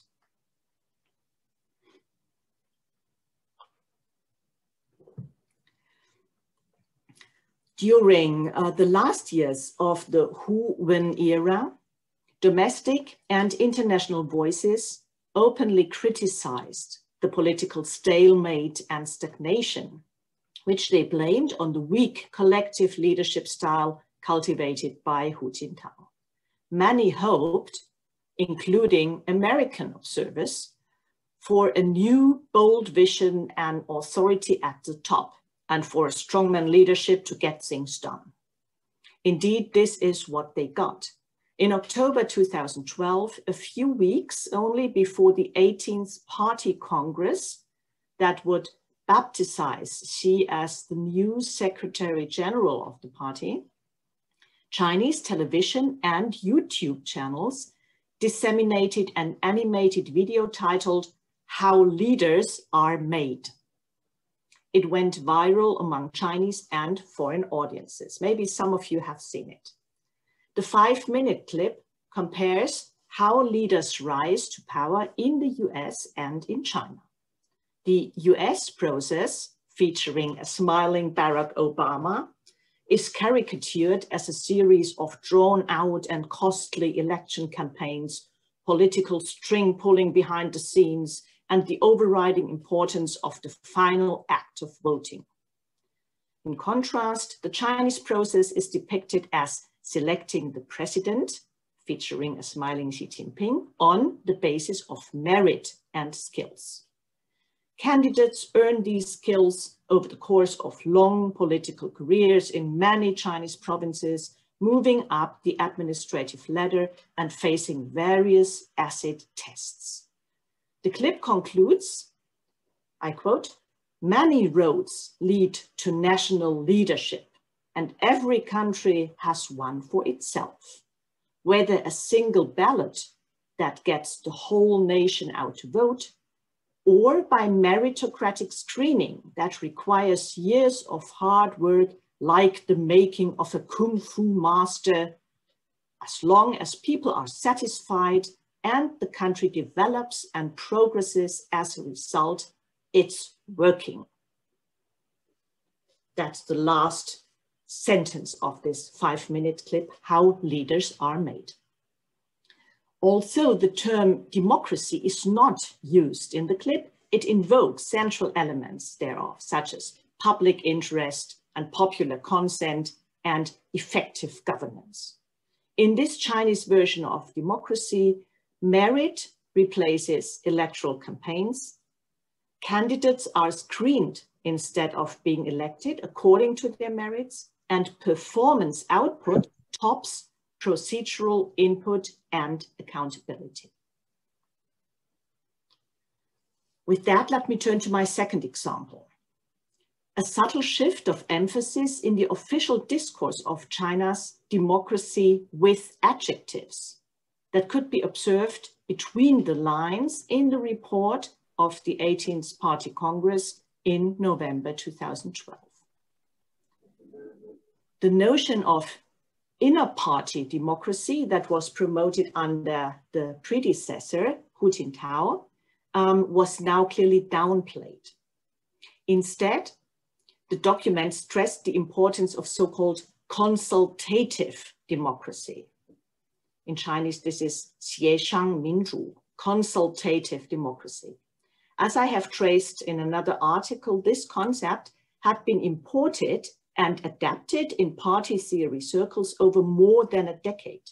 To make a very long story of adaptation short, this consultative democracy is a localized version of Jürgen Habermas' notion of deliberative democracy also translated as Xieshang Minzhu. Habermas had introduced his concept of deliberative democracy to students in Beijing back in 2001. His idea of an open-ended, freewheeling public communication among free and equal citizens who confer and take decisions based on the unforced force of the rational argument has gained much currency among Chinese students and academics at the time.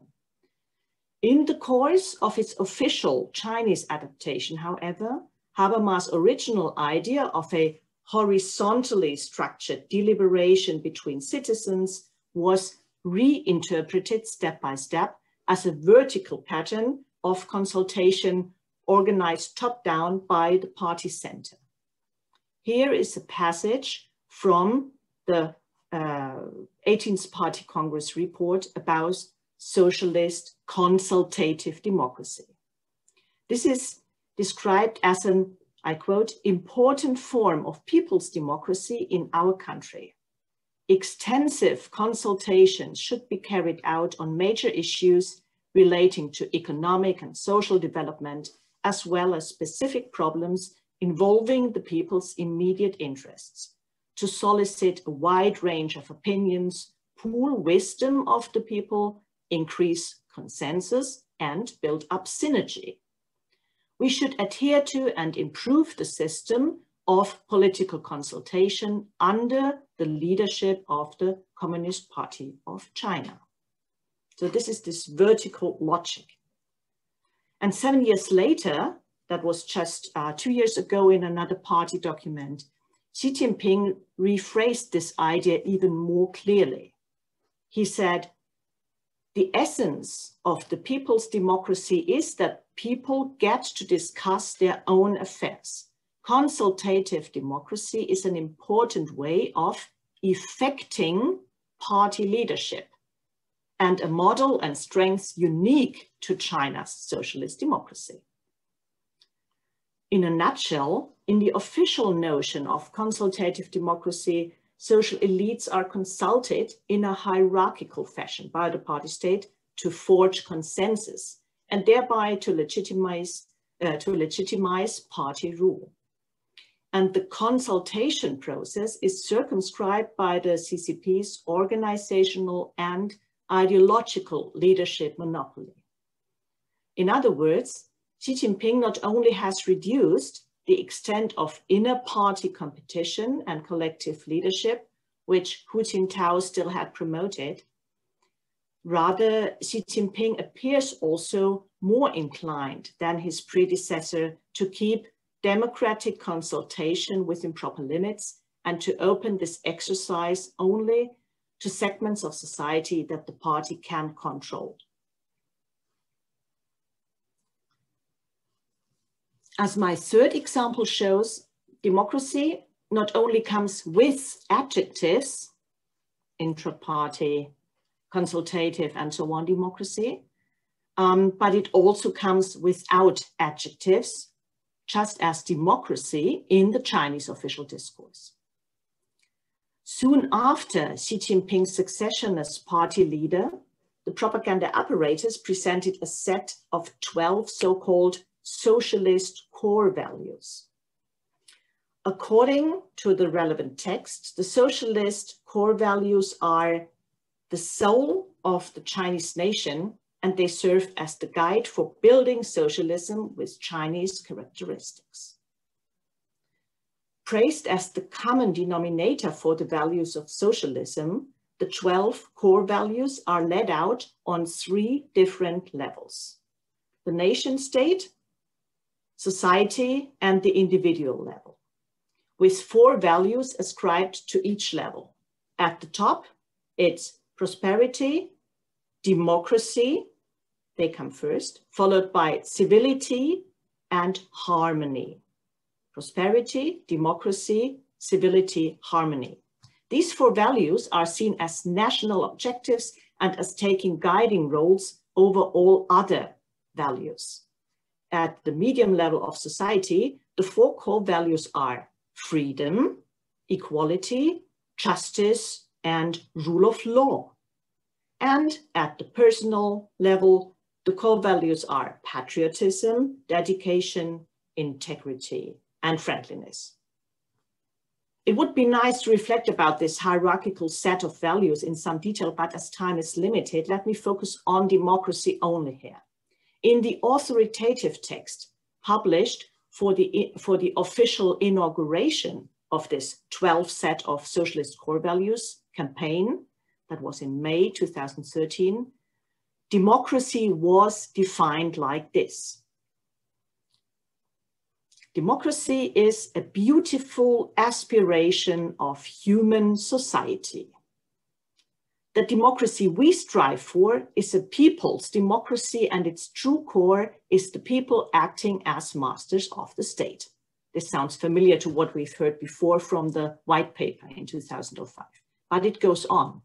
Democracy is the life of socialism and the political guarantee for creating a beautiful and happy life for the people. The Socialist Core Values campaign that continues until today has also been researched in a recent study just in January this year. Based on a collection of almost 400 propaganda posters that have been disseminated online and offline across the country since 2013, you can still see them in, in every street, the study has come to a very interesting finding. While the 12 core values have been replicated as a complete set over time, only six of them have been given detailed illustration in the propaganda posters. These are prosperity, civility, and harmony as national level values, and patriotism, friendliness, and integrity as personal level values. Democracy, as well as freedom, equality, justice, and rule of law, and dedication, are conspicuously absent from the theme-specific posters. As the author analyzes these missing six values, including democracy, have very specific definitions, all of which fall under the strict guideline of the party state, as individuals are not expected to interpret or contribute towards these values, but instead are considered the beneficiaries in a society where these values will be allowed to prosper. Values such as democracy and rule of law are not popularized in the poster collection. One might add that by reproducing the notion of democracy over and over again in a line with the other core values, the propaganda campaign might have a two-pronged effect, a double effect. One is to inculcate the notion of democracy without adjectives in people's minds and everyday language. The other is to inoculate the very notion of democracy, to tame and immunize it against potential challenges who might strive for democracy with a capital letter and who might want to interpret democracy in a more specific way than the official idea of a beautiful aspiration of human society. based on such a domesticated version of democracy, it might not come as a surprise anymore that Chinese official media have hailed the country as the world's largest democracy. And this is my fourth example. In August 2015, the party-controlled uh, Global Times ran this headline, which is ultimately the largest democratic nation? The answer is obvious, but let us see how the argument is built. The article starts with an attack against the West, above all the United States, which had tried for a long time to exclude China from the global values discourse for being undemocratic. In contrast, India, which in the eyes of the West was the world's largest democracy, is found to enjoy an unjustified high level of trust in the West due to the same normative bias. Against this backdrop, the article then argues that it is time for China to break free from this discourse trap laid out by the West and secure the power of interpretation of global values as well as of the essence of democracy. Democracy is described as a historically formed term that has developed differently in various epochs and regions and for which there are no fixed standards. The Arab Spring and its aftermath are mentioned to show that the Western democratic model is not compatible with non-Western cultural contexts. The lessons to be learned are that without stability and order, neither prosperity for the people nor civilizational progress will be achieved.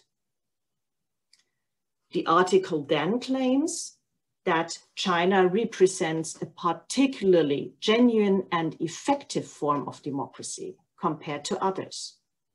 Unlike in many facade democracies across the globe, China ensures that different social strata and ethnic groups are adequately represented in the political process. Unlike in certain states, the Chinese people do not merely have the choice between different political dynasties on election day. Instead, they are involved every day in a number of important decision-making processes through a range of consultative mechanisms. Overall, the article argues socialism with Chinese characteristics has been proven to represent the true interests of the people and the country's economic success proves the vitality of the democratic system. Thus, China can be considered the largest democratic nation. Last but not least, it is time for China, the article recommends, to make this clear and no longer silently accept its false, undemocratic image. What we find here is a new dimension, I think, in China's official vision of democracy, if not a new habitus of the Chinese leadership. No matter whether these claims appear credible or not, it's the claim to challenge Western democracy itself that counts here. The claim to end Western discourse hegemony, the claim to project China's own discourse power and contest Western interpretations of global values, as well as the claim that China outperforms its Western counterparts in various regards. As my fifth and last example, let may illustrate the role of democracy in Xi Jinping's new era. The new era was inaugurated at the 19th Party Congress in late 2017 and it entailed the definition of a new principal contradiction in China's society. Those of you who are familiar with historical materialism might remember that, according to Marx, each period of social development is characterized by a specific principal contradiction, and its correct identification allows the vanguard party to solve this contradiction and thereby to further the socialist cause. Now, the Mao era had been characterized by the contradiction between the proletariat and the bourgeoisie, which had to be solved by class struggle. In the reform era under Deng Xiaoping, the principal contradiction had been between the ever-growing material and cultural needs of the people versus backward social production. According to Xi Jinping, this contradiction has been solved in the meantime thanks to China's unparalleled economic performance and the improvement of people's livelihoods over the past four decades. Thus, in the new era, the principal contradiction is no longer about quantity, but quality. It is now a contradiction between unbalanced and inadequate development and the people's ever-growing needs for a better life, 美好生活. And this is where democracy comes in. The better life which people demand in Xi's eyes includes democracy, rule of law, fairness, justice, security, and a better environment. Indeed, democracy appears here as the first among various aspirational values that are propagated as expressions of a better life, and as an output among other outputs that the party promises to provide with a view to satisfy the people. And not only that, by the mid of the 21st century, Xi Jinping envisages to develop China into, I translate literally here, develop China into a rich and strong, democratic, civilized, harmonious and beautiful, modernized, socialist, strong nation. Yes, the term strong is used twice in the Chinese original, which is Xi Jinping's innovative contribution to the party's strategic, party, uh, strategic target for 2049, when the People's Republic of China will celebrate its uh, 100th anniversary. As we can learn from these slogans, democracy is celebrated as part and parcel of the official party state vision for China, not only in the present, but even more so in the future. At the same time, the claim toward a democratic China is bracketed, if I may say so, by the claim toward becoming a strong nation and a great power by the mid of the century. What we might conceive here is the re-emergence of a vocabulary that used to be characteristic of a social Darwinist worldview of the late 19th century, of a struggle between nations where being democratic appears as an advantage in the survival of the fittest in the international realm. Now to conclude, I would like to offer some reflections about what the Chinese visions of democracy might imply for the country's interactions with the region that is in the focus of this workshop. First, I hope you agree that it is helpful to take into account the self-views and worldviews of actors in different regions which are becoming increasingly important in the context of changing international power constellations. And specifically to better assess Chinese expectations, ideological positions, strategic portfolios and preferences vis-a-vis -vis other countries and actors. China's official visions of democracy, and this is my second conclusion, can be seen as an almost ironic response to the widespread perceptions that China challenges not only Western liberal democracies, but the idea of democracy itself.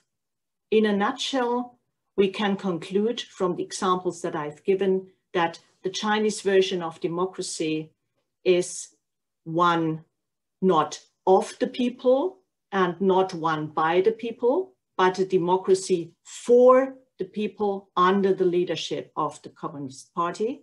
And it comes without all the hassles of electoral campaigns, of protesting, of democratic rights and accountability. Whether these visions of Chinese democracy are plausible and credible or not appears less important than the contestation of what is perceived as long-standing discourse hegemony of the West. China's alternative discourse on democracy might gain traction in times of newly emerging geopolitical alliances, and the Belt and Road Initiative might be a platform for that. Together with its economic clout, China's rejection of the perceived discourse, discourse hegemony could make a growing impression on actors in Eurasia and other world regions who could have increasing reason to accept China as an alternative international rulemaker and possibly also as a leader in the democratization of international relations. Third and last, much will depend also upon the self-image of Western democracies. The ongoing COVID-19 pandemic and the varying effectiveness of public health responses in countries worldwide has shaken, if not severely damaged, the self-confidence of liberal democracy in its superior capacity to deliver the public goods. It is hard to tell whether China's robust and effective response to the pandemic at home and its vaccine diplomacy abroad will lend more credence to its official visions of democracy. Probably not as such. However, I think that the malaise of Western liberal democracies that has only deepened in the wake of the pandemic tends to benefit China's claims to contest the perceived discourse hegemony of the West and to project its own interpretations of global values such as democracy and other beautiful aspirations of human society. Thank you. I'm happy to get your comments and questions um, after I see a quite long talk. I hope we still have some opportunity to discuss and I will also stay with you during uh, this day's conference. Then we have Elżbieta Proń, assistant professor at the University of Silesia in Katowice, Poland. Uh, I'm very happy that we started from actually a strategy of China towards Central Asia, because in my speech, I will talk about the other direction. Um, uh, that is how Central Asia in general, and in Kazakhstan in particular, deals with um, China's activities just across uh, the border in Xinjiang. Um, I will talk about an issue that has become a problem to tackle by Kazakhstan authorities about four years ago, that is China's security and ethnic policies in Xinjiang. Um, I will try to see, or I will address how this issue resonates in Kazakhstan society and how it is addressed uh, by the authorities. And in my conclusions, I will also relate this topic to the main theme of this workshop, that is uh, its influence, that is influence on democracy in um, Kazakhstan.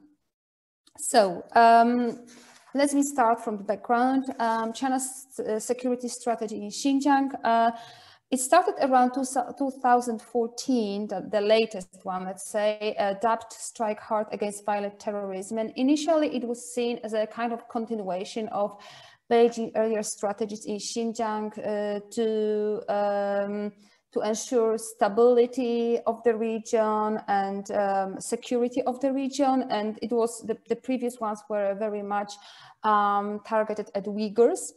Um, but um, according to different estimates, uh, nowadays we can talk about at least 2 million people who are uh, forcibly uh, detained in so-called re-education facilities in Xinjiang.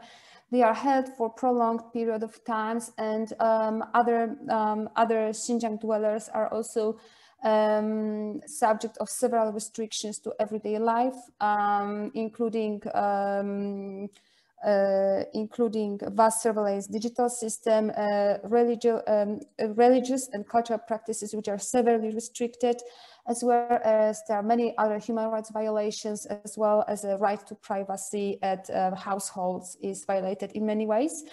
And we have already seen a very long-term social, cultural and demographic impact on the region with um, sharp decrease in birth rate, um, with um, uh, many uh, um, disturbances to the cultural continuity of uh, Xinjiang Muslims, as well as um, a very uh, brutal disruption of uh, family, family links by putting adults in re-education uh, facilities and putting children in state-run of orphanages and other state institutions.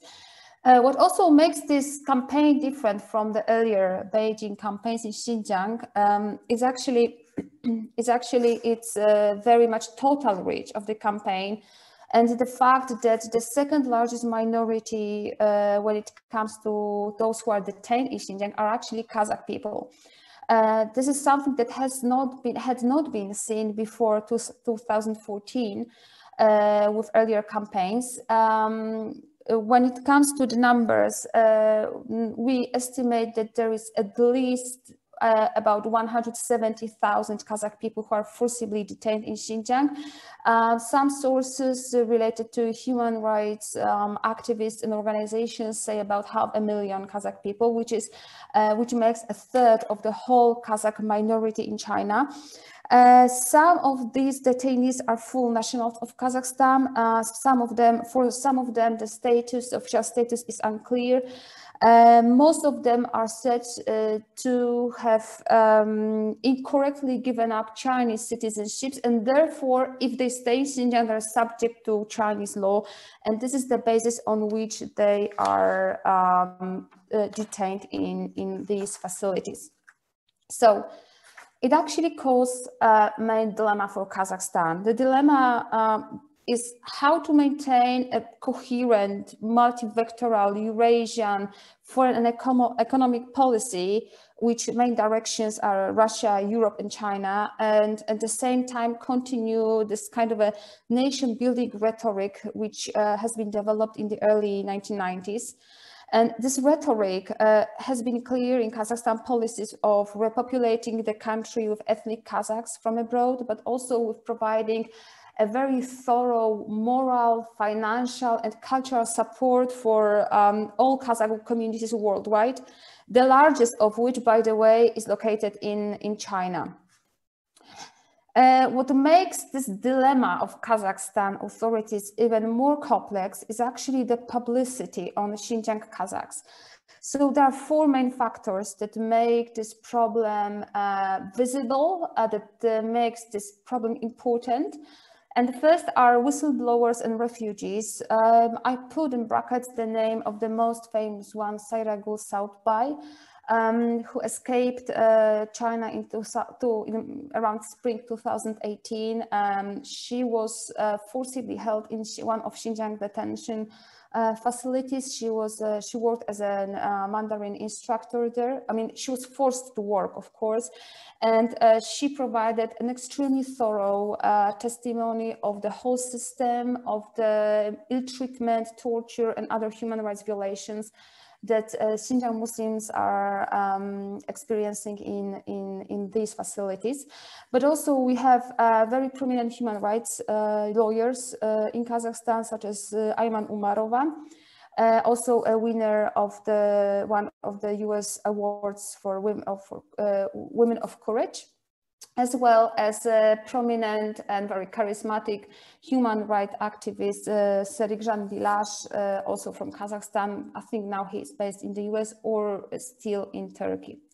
And the second uh, thing is local and in international human rights associations. Uh, I enlisted four or five of them uh, the, the first and the most well-known is Atajurt, or um, now it goes uh, under another name, Atajurt uh, Rig Then we have Kaharman Human Rights Initiative, Demos, and Kazakhstan Bureau for Human Rights. Uh, these four are based in Kazakhstan, um, and the, the last one, Free Kazakhs, are, is the US-based human rights organization.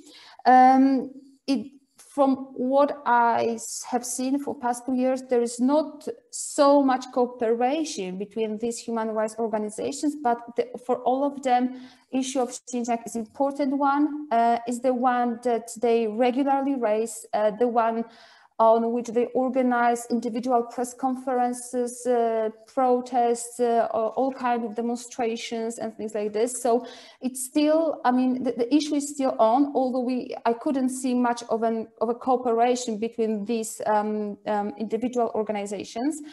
Um, they also publish a lot about Xinjiang. Um, they send a lot of um, um, different kind of motions to international institutions. Uh, they are very active in social media, and what is really important, they are also very active in English language, which makes uh, issue even more visible out of uh, Kazakhstan and out of Central Asia. Uh, apart from this, we have had uh, uh, mass-scale protests regarding issue of Xinjiang demonstrations, as well as more recently due to COVID pandemics, uh, solo protesters usually um, demanding uh, release of the relatives in front of uh, Chinese embassies and Chinese consulates in, in Kazakhstan.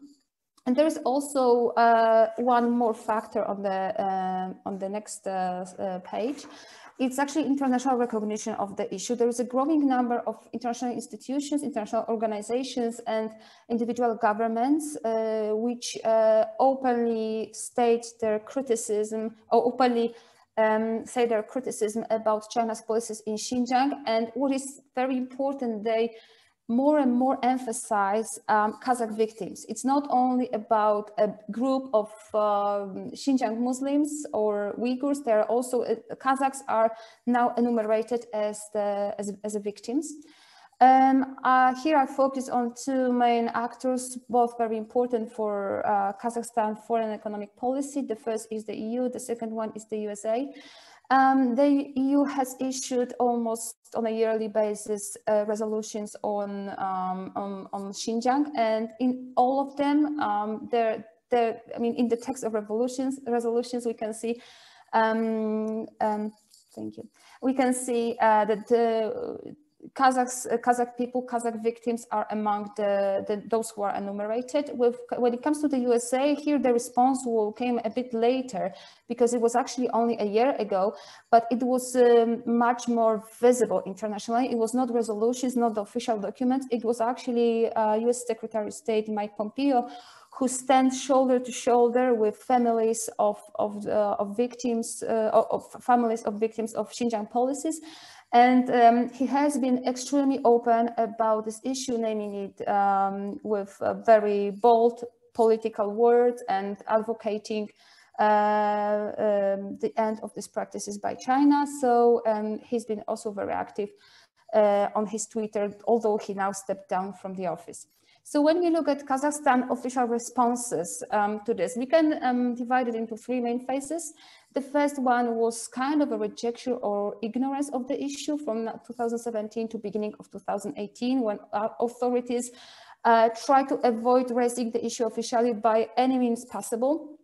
The second one uh, was more, the most proactive. Uh, it was like the, the, the, last period of Nazarbayev it was a careful, tacit diplomatic steps when actually uh, there was some kind of diplomatic um, diplomatic uh, talks going on on the issue, and Kazakhstan authorities officially announced that they managed to allow over 2,000 Kazakh uh, ethnic Kazakhs leave China and come to Kazakhstan.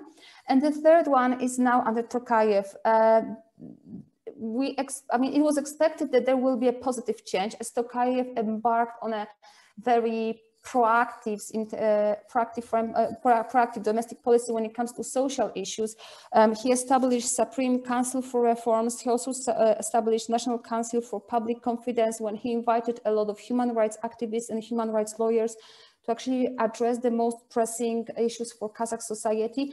Unfortunately, as underlined by many human rights activists, we can't see many, I mean, any, any, step forward when it comes to actually um, addressing Xinjiang issue. What, what we could see is that actually Tokayev tries to address the public grievances, but also try to seal the borders so that there will be no more Kazakhs escaping China and seeking the seeking political asylum in Kazakhstan.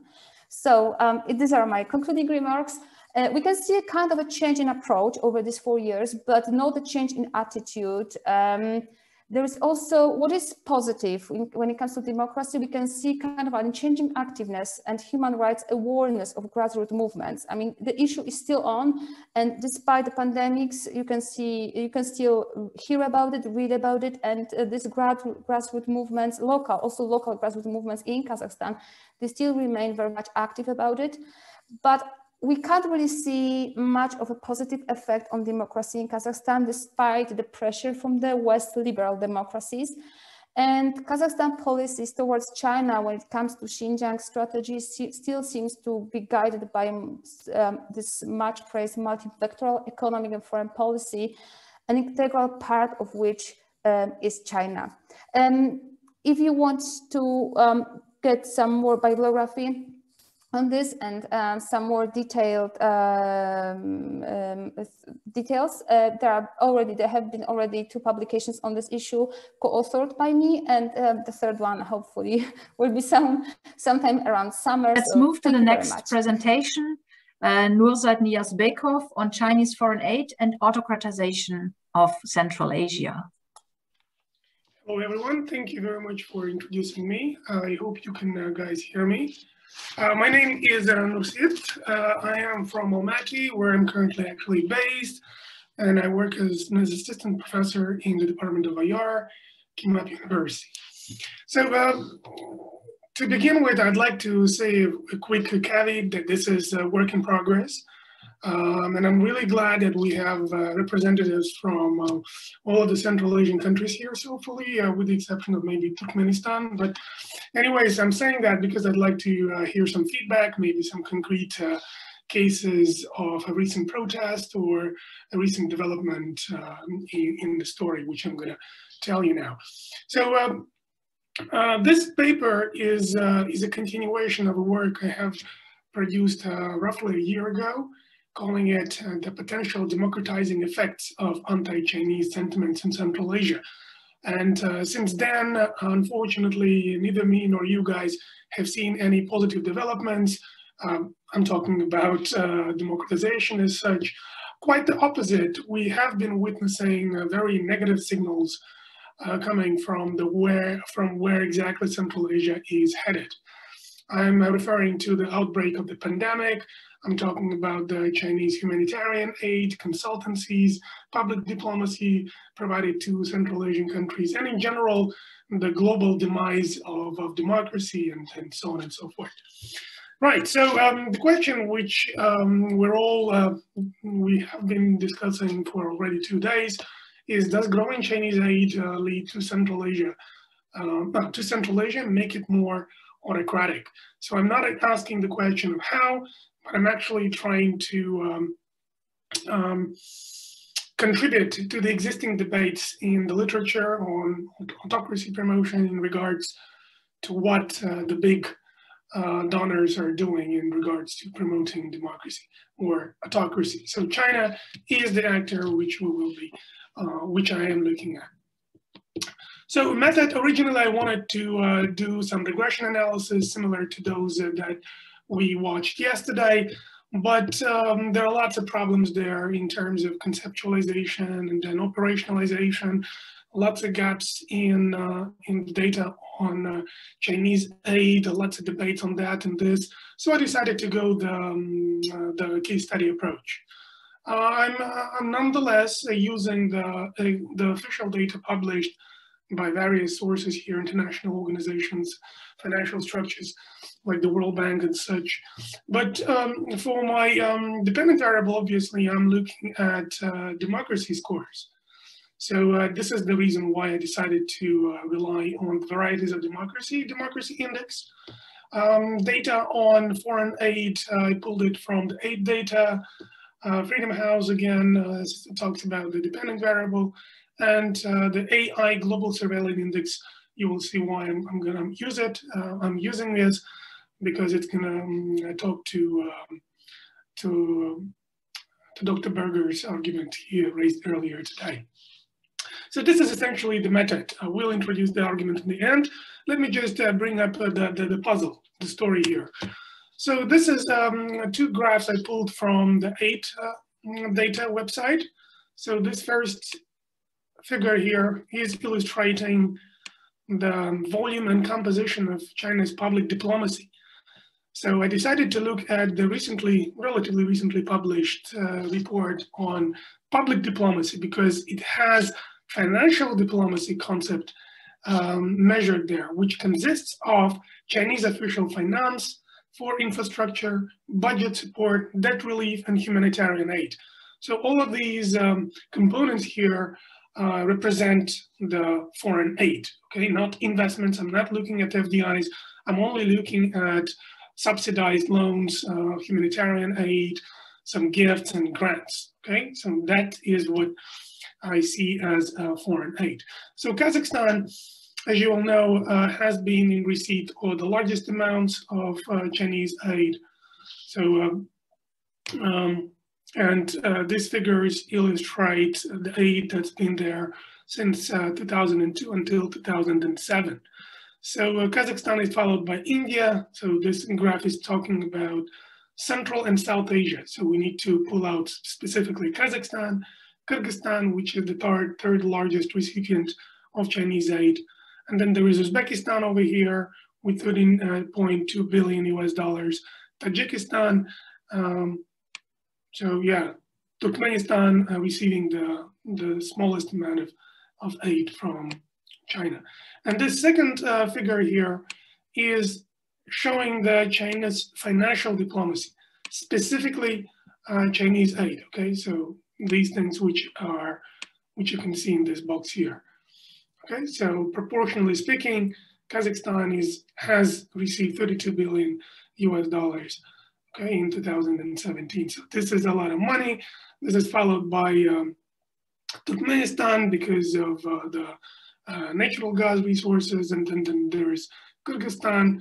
Most of, uh, the investments, most of the aid um, uh, targeting the Confucius Institutes, the cultural programs, and the public diplomacy per se.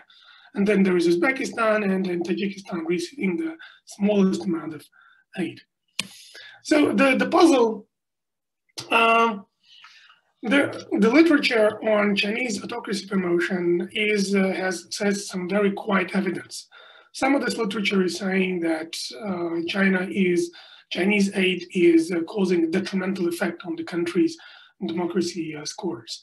But there is another evidence coming from other authors which is saying, no, it is not necessarily making these countries more authoritarian. So I decided to go and look uh, at this data myself. So here in front of you is just the democracy scores for, uh, for Central Asia. Okay, I'm not uh, comparing this, I'm not uh, running this against uh, the foreign aid indicators, just you know the, the rough numbers since 2013 and until uh, last year. We can see that there has been no apparent change in the civil liberties. So civil liberties index produced by the varieties of democracy is, uh, is more or less the same. Okay, so uh, we cannot really discern, identify a major discrepancy in how things might have changed as a result of a growing Chinese engagement in the region. Okay. Uh, next, if we look at the measure of, of, accountability, which is another classical indicator of democracy, still no major change. So the, the question in the survey looked as to what extent is the ideal of government accountability achieved? There are some other variations of this horizontal accountability, vertical accountability. So I decided to, to look at this one and still no apparent change. So does it mean that Central Asian uh, Chinese engagement has not uh, made the region more authoritarian? Could be, could be. Let's keep this question in mind. Talking about the elections, so nothing has changed in the way that elections are held. Um, so elections have not become uh, more or less restrictive, more or less egalitarian, more or less open. So still no change there, okay? But surprisingly, um, speaking of the regime corruption, uh, if we talk about how effective were Central Asian governments in combating corruption, we are seeing very slight improvements starting from 2016. But I wouldn't uh, rush and associate this anyhow with, uh, uh, with the Chinese aid. Okay, there could be some other factors. So, um, okay, it's just a positive dynamic here, which I would not, you know, uh, tie strictly to Chinese aid. So let's talk about some uh, major findings here. As uh, we have already seen, there is no significant change across key democracy variables. So Central Asia remains to be authoritarian, equally authoritarian as it used to be five or so years ago. So um, there is no concrete evidence that Chinese aid is causing the region to be more authoritarian.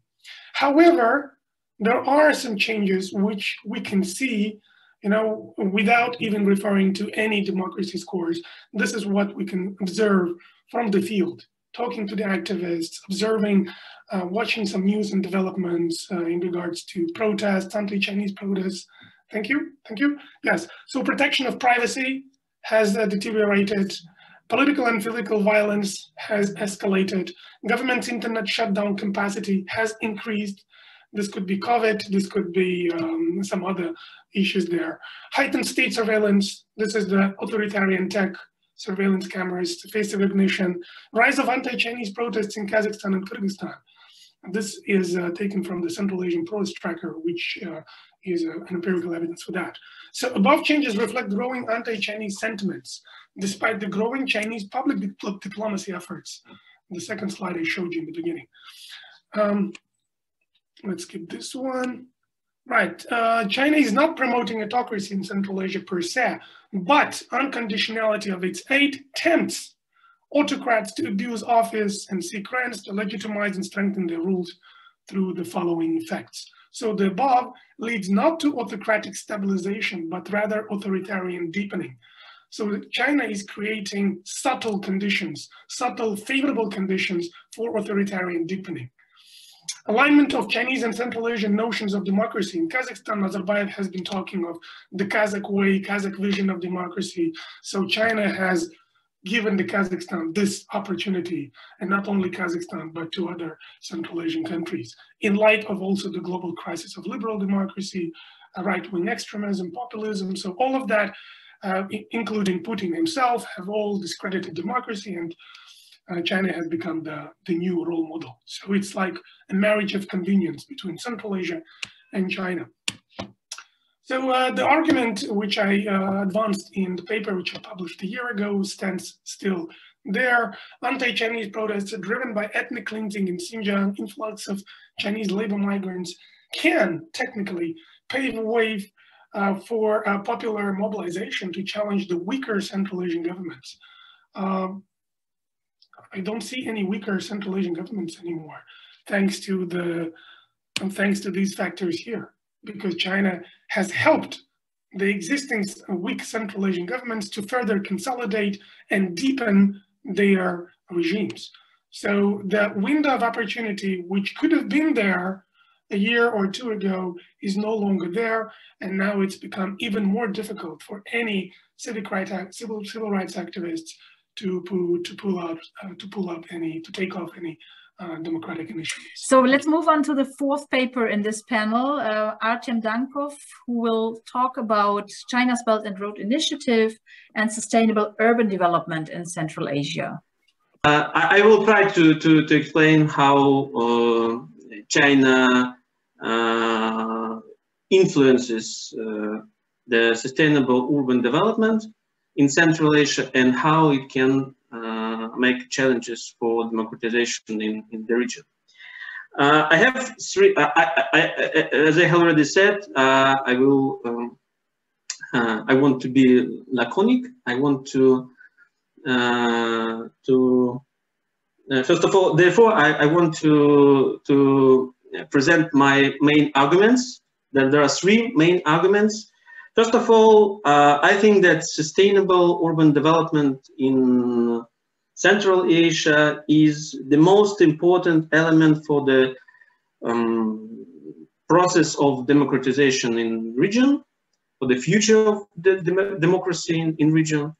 Uh, the second argument is that uh, China's Belt and Road aid or investments uh, does not have positive effect on sustainable urban development in Central Asian countries. And the third uh, argument is uh, that this um, um, negative effect uh, is not a result of uh, grand strategy or secret plan. I, am not a supporter of conspiracy theory. I think it's a, it is a result of misunderstanding of Chinese side, Chinese government, um, uh, situation in, in region in some in some countries in Central Asian societies. Uh, and sometimes it, it is a result of uh, uh, different uh, understanding of uh, what do we need to support, for example.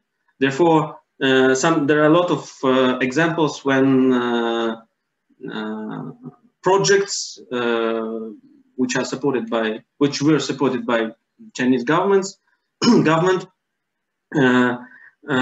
did not help or sometimes they have a negative effect on uh, sustainable social social development.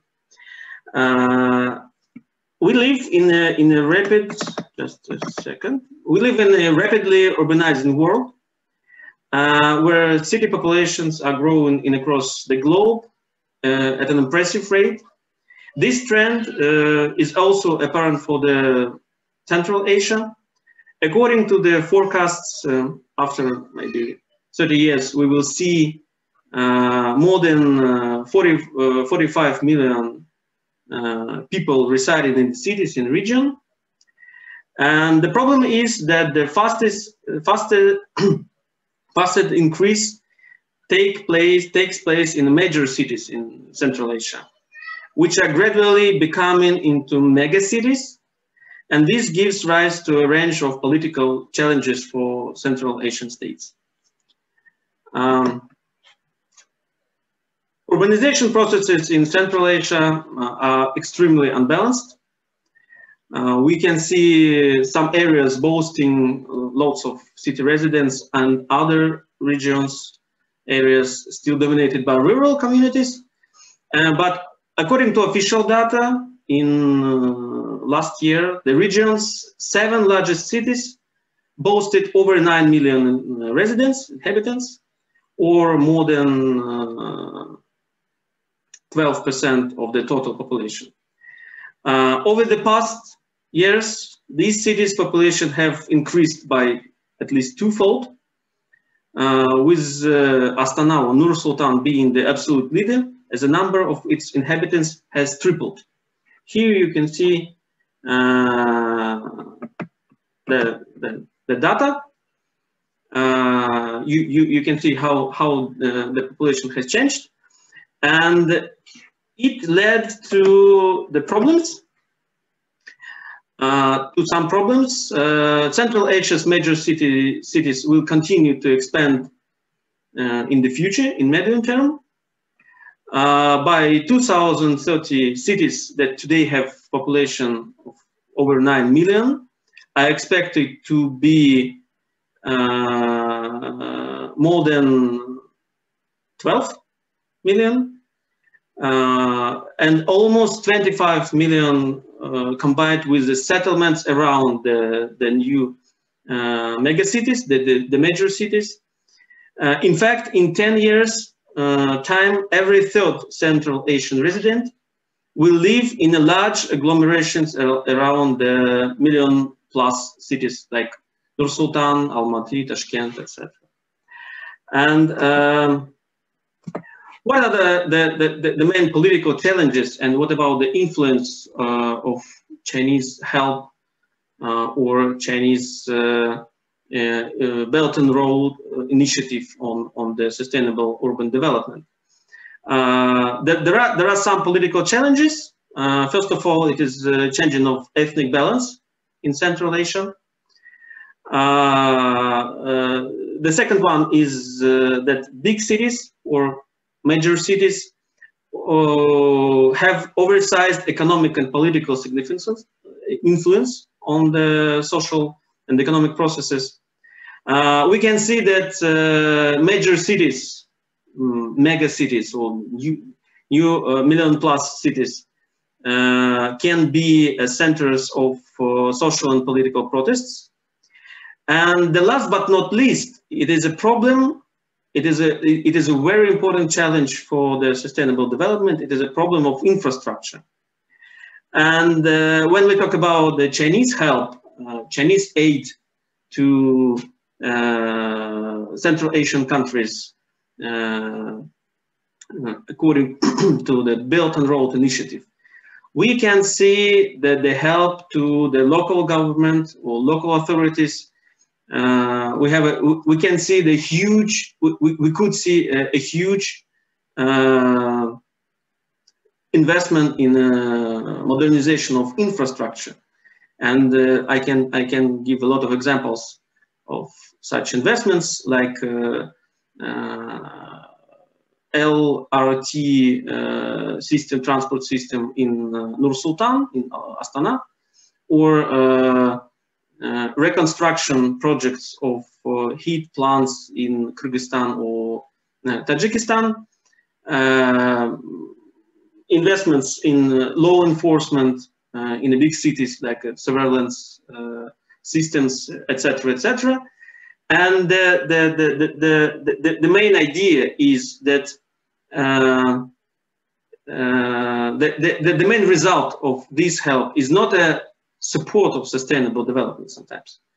It's, it's it, on the opposite side. It, have, it has, uh, sometimes it has negative effect because it leads to the problems with the uh, support of uh, uh corruption uh, as a result of some projects. It is a support of uh, law enforcement, sometimes a strict law enforcement, and uh, I think it's it's not it's not a problem of a grand strategy. As I have already said, it's not. I, am not a supporter of uh, conspiracy theory. It's a, it's a sometimes it's a result of misunderstanding of Chinese side how the system works in in in on the local on the local on the uh, uh, local level, and uh, here we, we I, I can uh, say that uh, we can see the problems of even uh, in a soft power implementation in, in, in, Central Asia. Where is the most uh, uh, developed system of Confucius Institute in Central Asian countries? In, in Kyrgyzstan and Kazakhstan. But where, where can we see the, the most uh, uh, well-known anti-Chinese protests or anti-Chinese uh, movement, uh, social, political sometimes, in, in, in the same countries. Uh, I think it's, it's, it's, it's a good lesson for, for Chinese government how, to, how to improve, how to make the, the aid the aid to the urban development more effective. But in in in uh, short term period, we we I I can see that uh, Chinese uh, Chinese uh, Belt and Road initiatives doesn't support sustainable development for urban communities. Thank you very much for your attention. I, I, I, tried to be to be laconic. We have uh, Alicia Kizeková. She is working at the Institute of International Relations in Prague in the Czech Republic. I want to thank the organizers for letting me be here. Um, and I also see some familiar names in the participants, so I'm saying hi to those. Um, in terms of my topic, um, it's a very broad topic. I concentrate on China in um, Central Europe and uh, specifically on um, collaboration with, um, I hope you can see the slide.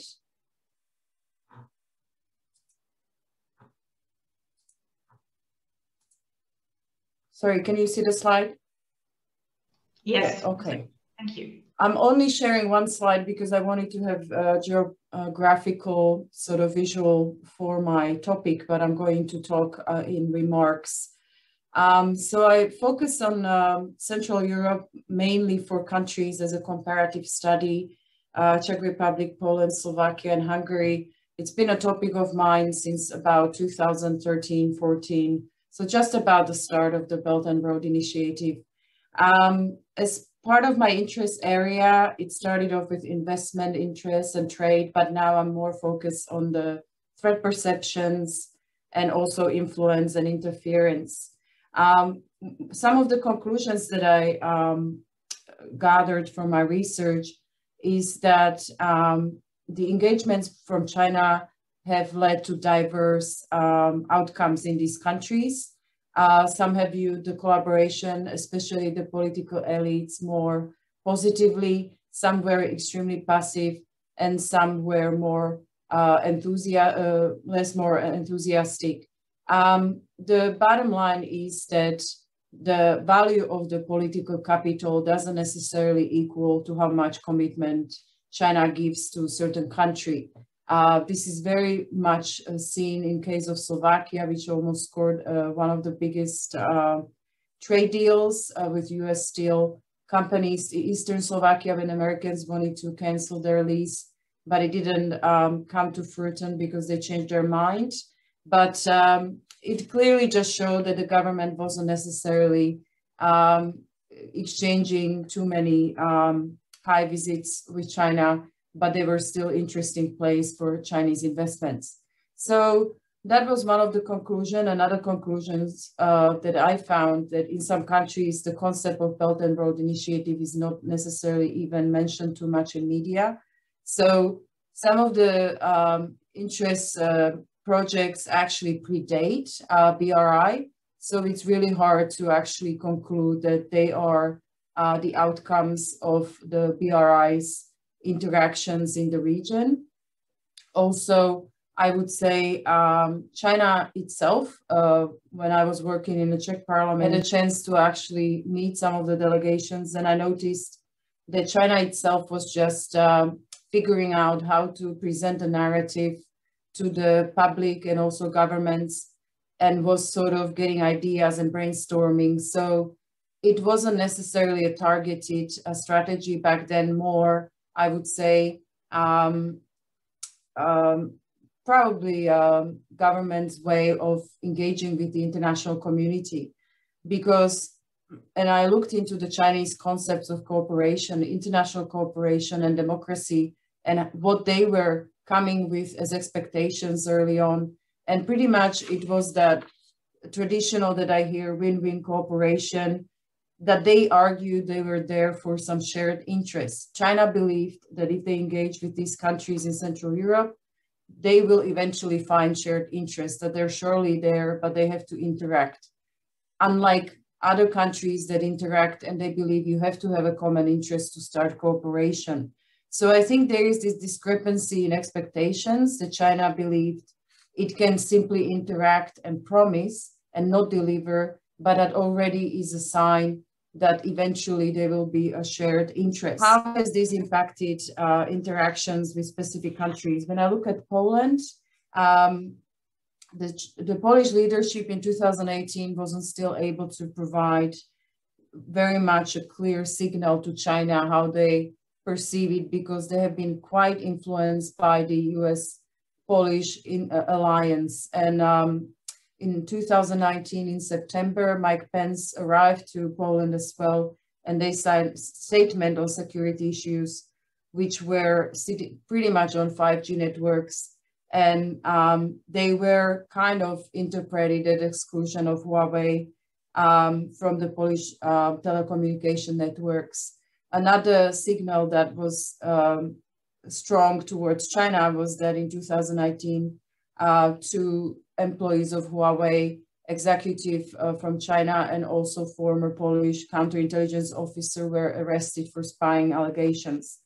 On the other hand, Pol Poland uh, established new uh, trade offices in China. So this kind of mixed messaging um, has not given a clear indication, but when I spoke to my Polish uh, colleagues on this topic, it was confirmed that it's very hard to pinpoint whether there is a um, major threat uh, perception. Uh, in terms of the Czech case, uh, it's a very good case study of a country that had a very strong view of um, um, democracy and human rights during Václav Havel's time. And then with the entry of uh, President Zeman, who's currently the president and leader um, obviously, that topic went more to a back burner and uh, investment opportunities were more welcome and the overall warming up of relations, especially with the, with the visit of Xi Jinping in 2016. Um, what's important with the Czech context, I think, is the current opposition parties are way more critical of the ideological aspects of China and arguing that that's also incompatible and can be threat to Czech Republic and also to Czech identity, which is very values based. And also, I would say the academic uh, environment since about 2018 19 is very active in gathering data on media coverage, but also influence. We had a case in the Charles University where um, center was uh, pretty much uh, sponsored through private company and uh, sponsored conferences. Uh, this was revealed and uh, this kind of uh, audit is taking place right now to what extent the Chinese embassy was influencing um, academics or students and in a way pressuring them to some author censorship. Um, I will move on then to Slovakia. Quickly, it's interesting case because there is this threat neutrality. It's not paying, it hasn't spent too much time thinking about China. Actually, uh, it's not high on the agenda. But as of now, the President Chaputova criticized human rights in front of the um, Wang Yi at the official meeting in 2019. So there is a bit shift in uh, narrative and more focus on uh, whether China could be viewed as a threat or not. Uh, to the and that's mainly the newly established political parties who are revisiting whether agreements such as BRR 17 plus one are actually positive contribution or harming. Hungary is one of the important cases because there is no official communication on China threat and Hungary does not recognize there is a threat.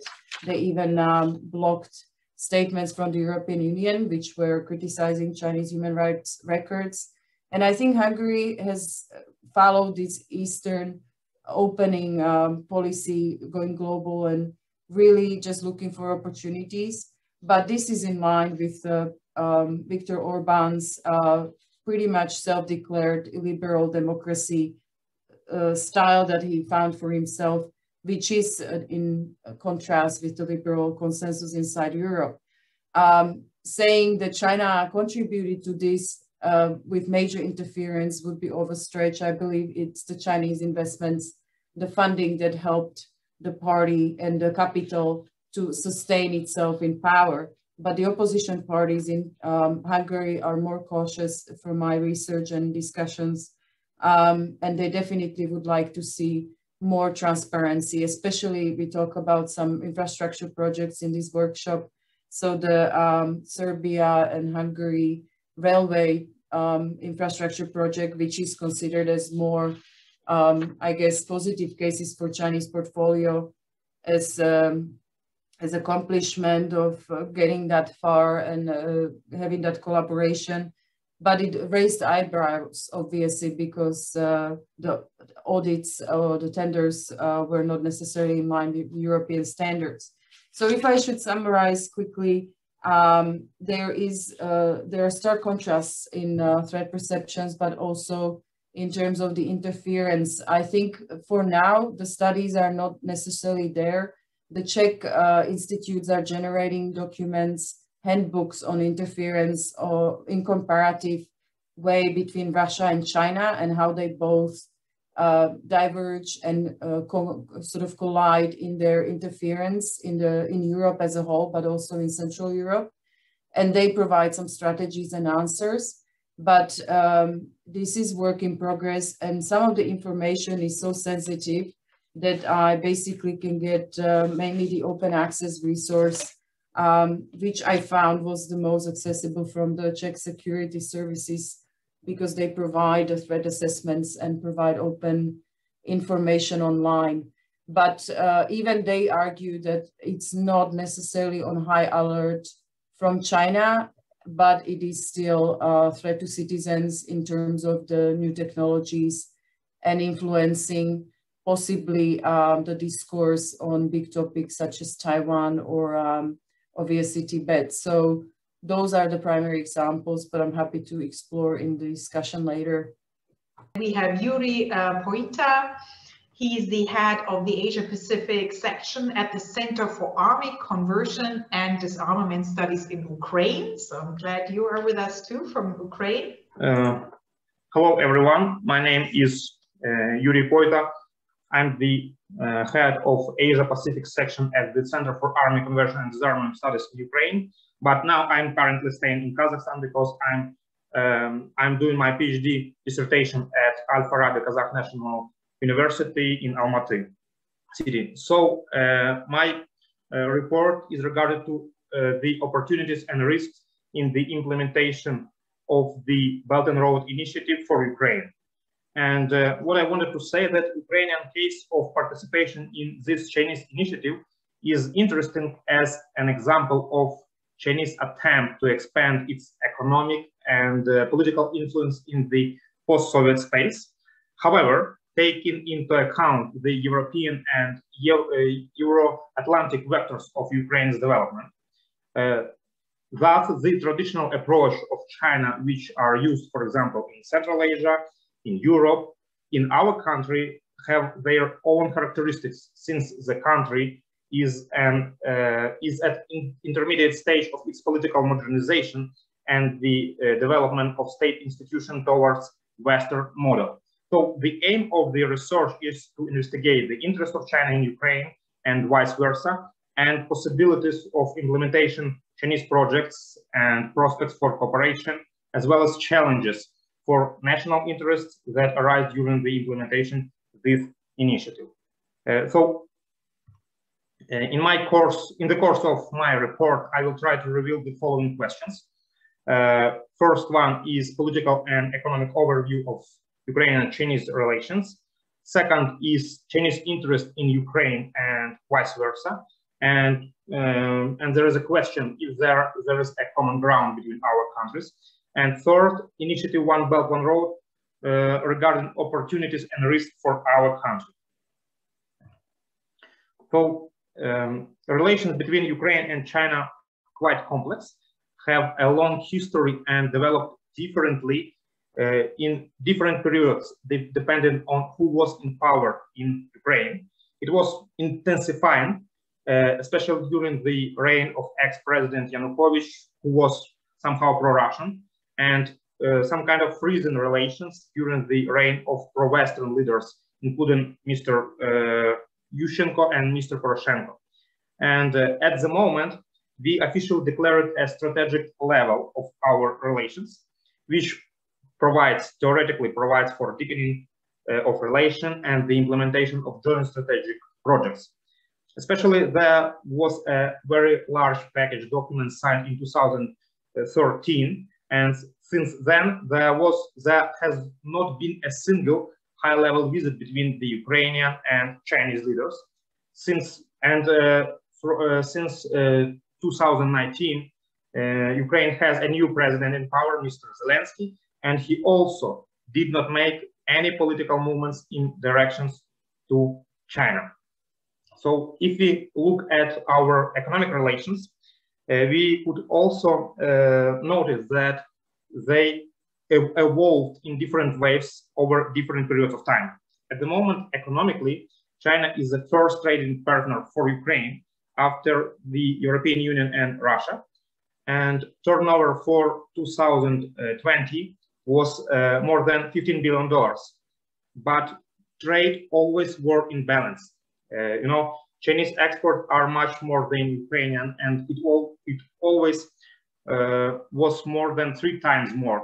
But in 2000, uh, in 2020, we can we can see that uh, the balance uh, is much lower and almost and our export and import almost equal.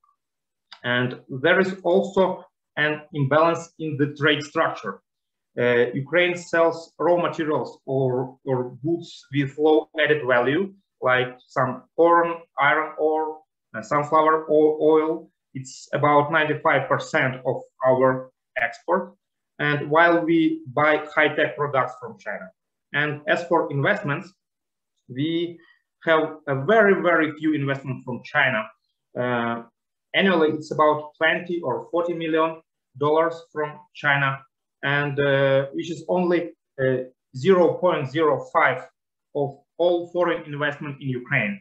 For example, uh, comparing with other countries, every year Israel invests uh, 50 million dollars um, in Ukraine, Singapore 300 million dollars, Turkey 300 million dollars, and Netherlands uh, six billion dollars, and comparing with China, uh, it's it's much more, uh, much much more. And all we need uh, all we uh, had from China regarding the investments were loans, uh, for which in in fact uh, were a, was a lot of corruption, were lots of corruption issues. And from the outside, it looks like China has quite strong position in Ukraine and big interest, but I think it's overestimated and our relations are not really strategic uh, as it's claimed officially. First, we don't have any strategic projects in infrastructure. I mean, I mean joint strategic projects in infrastructure, energy, or production. China, despite the declaration of strategic partnership and statements about the importance of Ukraine in the One Belt One Road, practically does not invest in Ukraine and does not seek to significantly deepen our political and economic relations.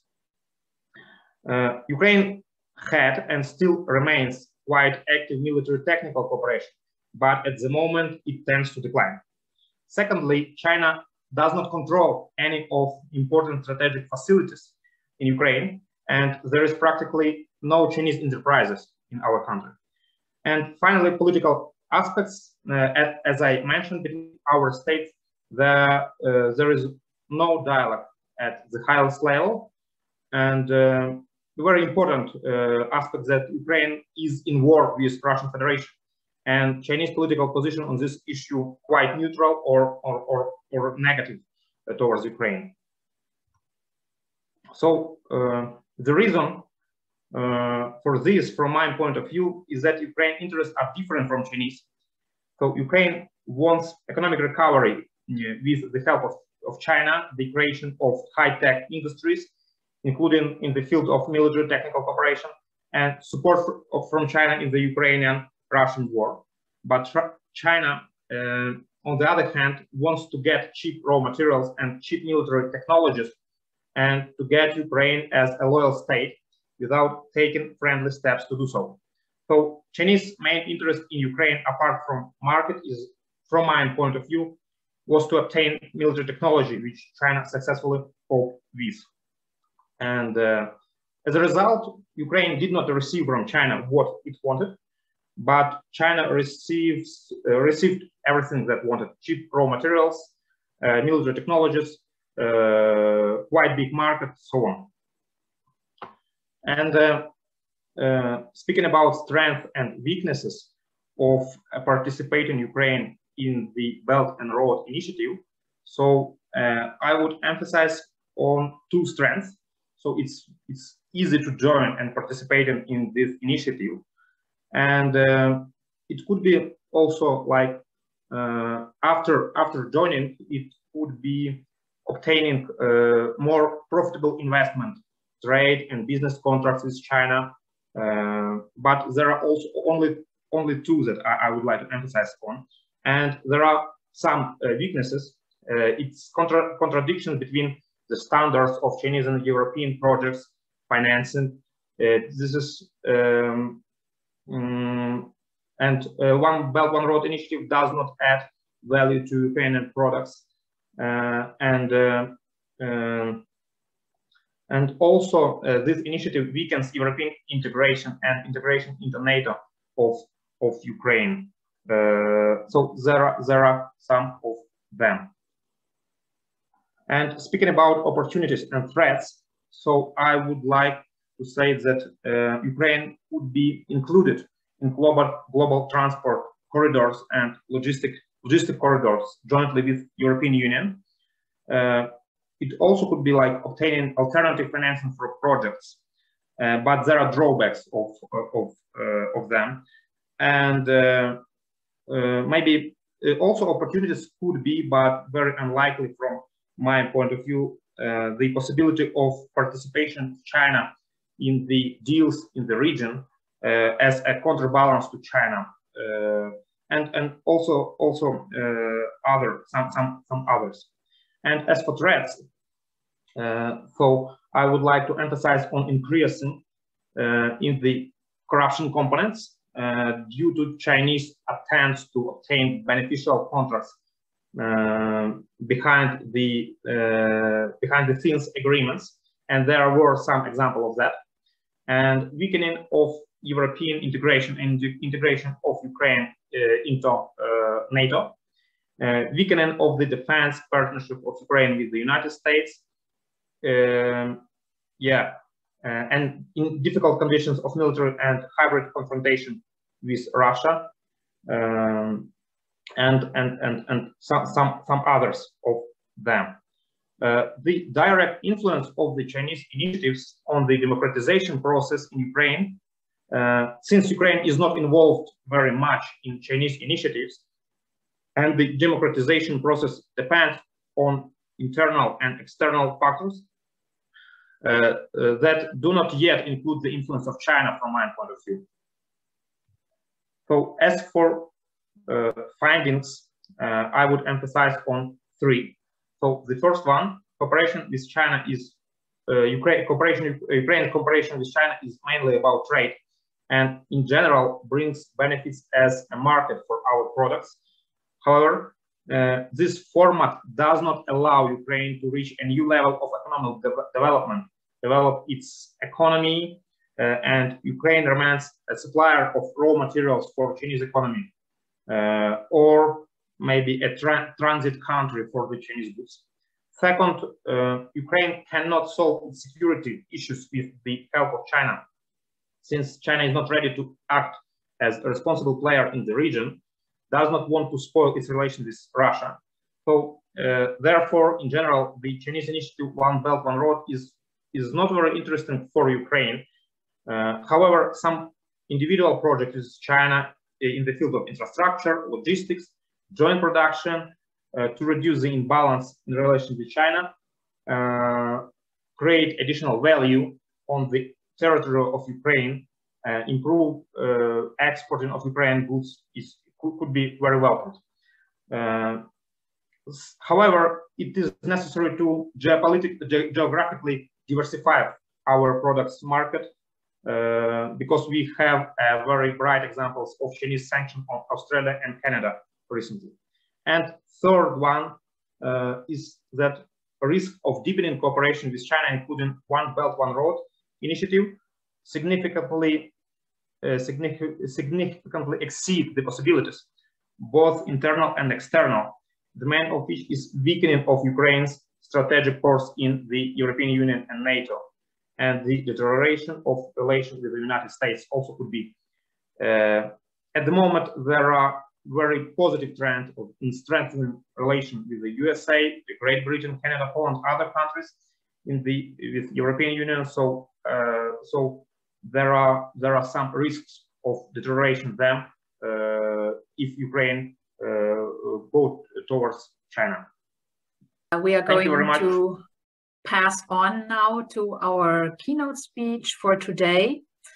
And I'm very happy to welcome Ed Schatz here, who I already see there on camera.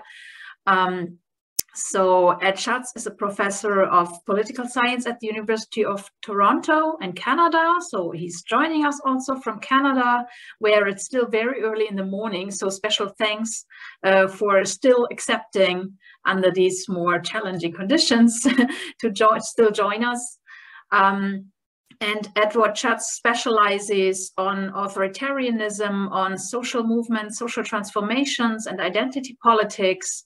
Um, with a focus on the former Soviet Union and particularly on Central Asia. And today he's going to talk about varieties of authoritarianism in Eurasia, which I think is a great topic to round up um, what we discussed throughout the past three days. So I'm very happy to have you here and would like to hand over to you.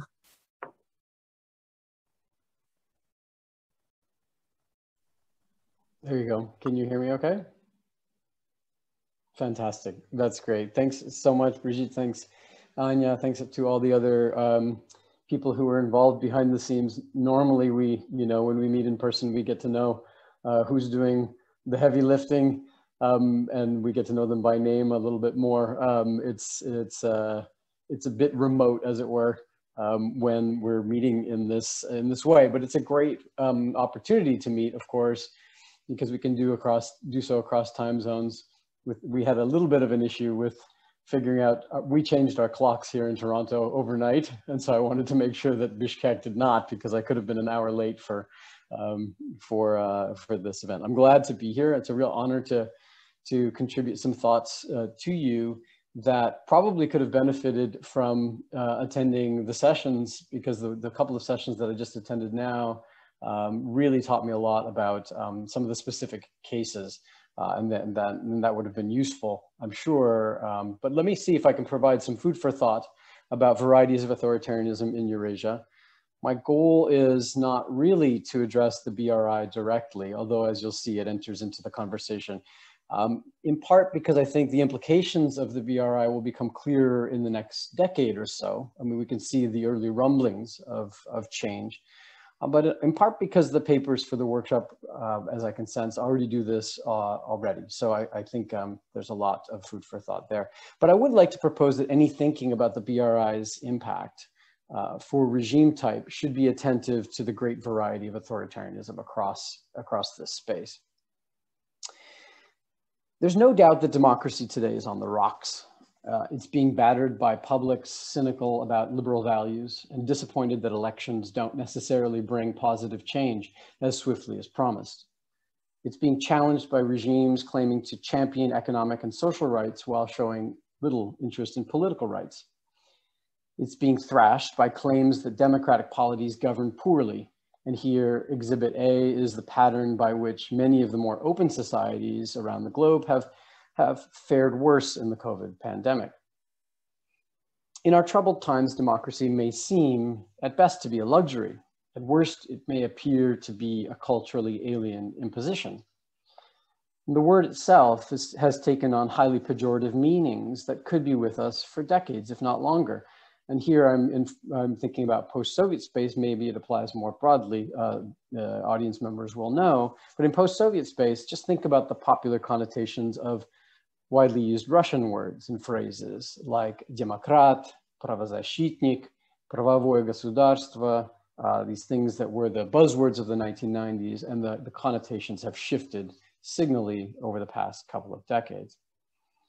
I don't think it's just post-Soviet space. In many ways, we seem to be living through what might be called an age of impunity. It's an era in which an incumbent democratic president can foment insurrection against his own democratic institutions. It's an era in which the same democratically elected president can quite literally put immigrant children into cages. It's an era in which rights for LGBTQ people come to be labeled as so much, quote, gay propaganda. It's an era in which journalists can be disappeared, can be murdered in plain sight, or dismembered in the consulate of their own countries abroad. Uh, it's an era in which business people can be taken hostage as, as just so many bargaining chips for the purposes of negotiation. It's an era in which extra-constitutional machinations seem a viable route from prison to the presidency. It's an era in which kleptocrats find ample space in the global economy to squirrel away their ill-gotten spoils.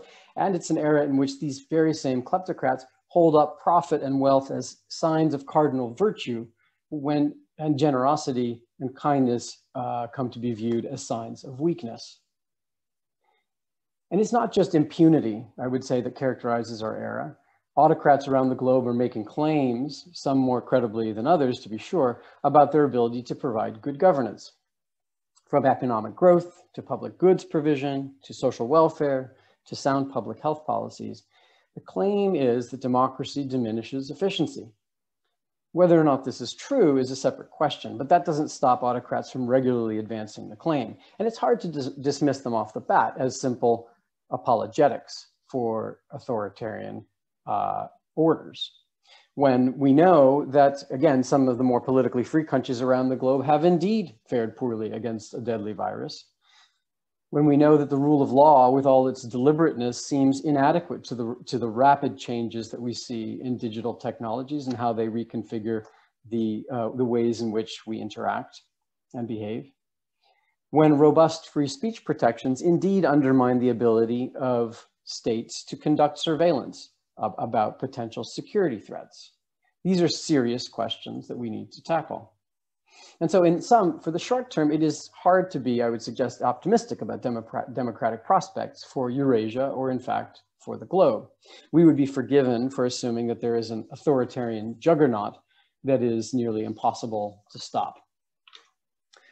But what I'd like to do here is, is take a step to disaggregate authoritarianism none of which is to diminish the challenge, which I would suggest is quite real, but it is an effort to question emerging assumptions about our authoritarian moment.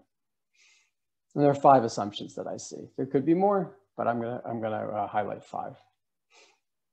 The first assumption about our authoritarian moment is that authoritarian governments somehow share a kind of a common essence. While in some very abstract sense this might be true, in reality, I would suggest authoritarianisms are more like Tolstoy's unhappy families. Just as Tolstoy opined that every unhappy family is unhappy in its own way, each authoritarian polity is authoritarian, as Lev Nikolaevich would have said, по-своему, that is to say, in its own way. So let me pause on a few Eurasian cases uh, post-Soviet uh, Eurasian cases. Kazakhstan's authoritarian trajectory is different from Russia's, which is different from Uzbekistan's, which is different from Tajikistan's, and so on.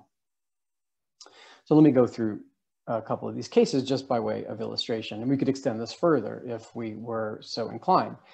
Kazakhstan achieved its independence rather by accident.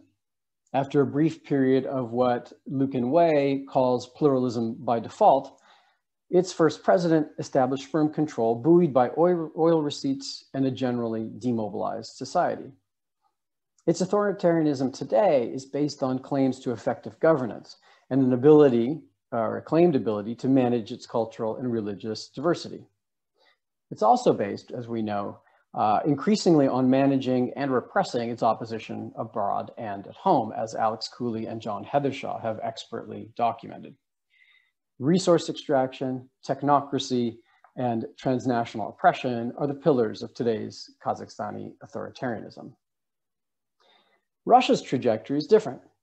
Russia achieved independence when it rather dramatically seceded from the Soviet Union, which of course it was the core part of, and, and, and, and moved to embrace a rather Wild West capitalism and pluralism that lasted for the better part of a decade, uh, all the while enriching a class of globe-trotting oligarchs bent on conspicuous consumption.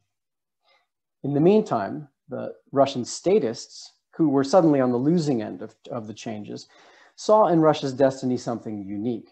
They began to agitate and mobilize resources for a new, more patriotic Russia that could retake its rightful place as a great power in a multipolar world not dominated by the United States. Practically, its authoritarianism is based on what Keith Darden calls the blackmail state, uh, in which broad surveillance produces abundant opportunities for gathering compromising materials, in Russian kompromat, thereby controlling the political field. Resource extraction, uh, geopolitical revisionism, patriotic revanchism, and anti-Westernism, not to mention this blackmail uh, state, are the pillars of Russia's authoritarianism today.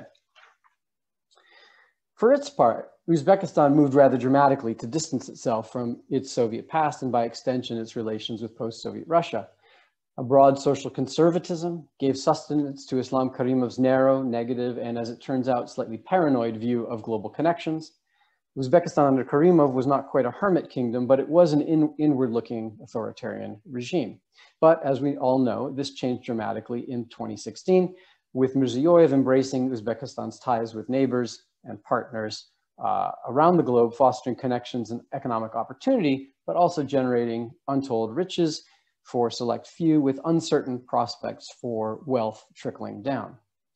Uzbekistan's authoritarianism is rooted in social conservatism, a minor political opening and major economic liberalization amidst global trends to the contrary, and also based upon declaring itself open for business, not at the unipolar moment, of American hegemony, but rather amidst an increasingly multipolar world order. All of this is different from Tajikistan's trajectory. One could say much more about it. I'll just keep it short, but I'll simply offer that the country's small size, limited natural resources, not to mention its civil war, mean that it tends to trade, metaphorically speaking, on its location, its proximity to Afghanistan and to China as it charts its distinctive authoritarian way forward. The larger point is that authoritarian trajectories vary widely. And if we broaden our lens further to China or Myanmar or Venezuela, we realize that a simple coding of authoritarian seems woefully inadequate to appreciating the wide range of trajectories on display around the globe today. And my more quantitative, quantitatively inclined um, colleagues will say, well, I'm gonna code it anyway. And I would say to them, uh, I think you're missing something. The second assumption often made about our authoritarian moment, and one that is connected to the first assumption, is that we are witnessing a deep convergence of principles and practices such that, is, that there is essentially and effectively an authoritarian bloc of states. I don't doubt that it can appear this way. Russia can generally count on Chinese, China's support in the UN Security Council. China can generally count on Russia's. Yet we have to wonder about the durability of this apparent convergence of principles and practices. Russia has embraced the Eurasian Economic Union with its own political and economic logics. And in the meantime, China, largely as we know through the Belt and Road Initiative, seeks to foster a different vision. To say that this generates contradictions and papers over differences is to put the point mildly. To date, the states involved in the EU and involved in the BRI have papered over the contradictions through broad declarations of purpose, especially through the Shanghai Cooperation Organization. Now, it's not impossible that these differences could be ironed out. They may in the future, but other possibilities loom. Let's rewind to the unbreakable friendship between Mao's China and Stalin's Soviet Union. The problem, as we know, with the unbreakable friendship, that it was much more fragile than it seemed. To quote from Alexei Yurchak in a different context, quote, everything was forever until it was no more, unquote. And after Stalin's death, relations between Moscow and Beijing soured rather rapidly. There are many reasons for these changes that should not detain us here, but suffice it to say that Mao's relationship with Stalin was a highly personal one, and each regime was the epitome of a personalist one. So if we fast forward back to today, in today's Russia, power has become increasingly personalized over the past 20 years, centered around the personal qualities and indeed the whims of one man. Likewise, China's system, which for decades seemed bent on avoiding this kind of high levels of personalization, has now slipped into a mold not terribly unlike Russia's, with President Xi assuming increasing command of more and more of the political establishment.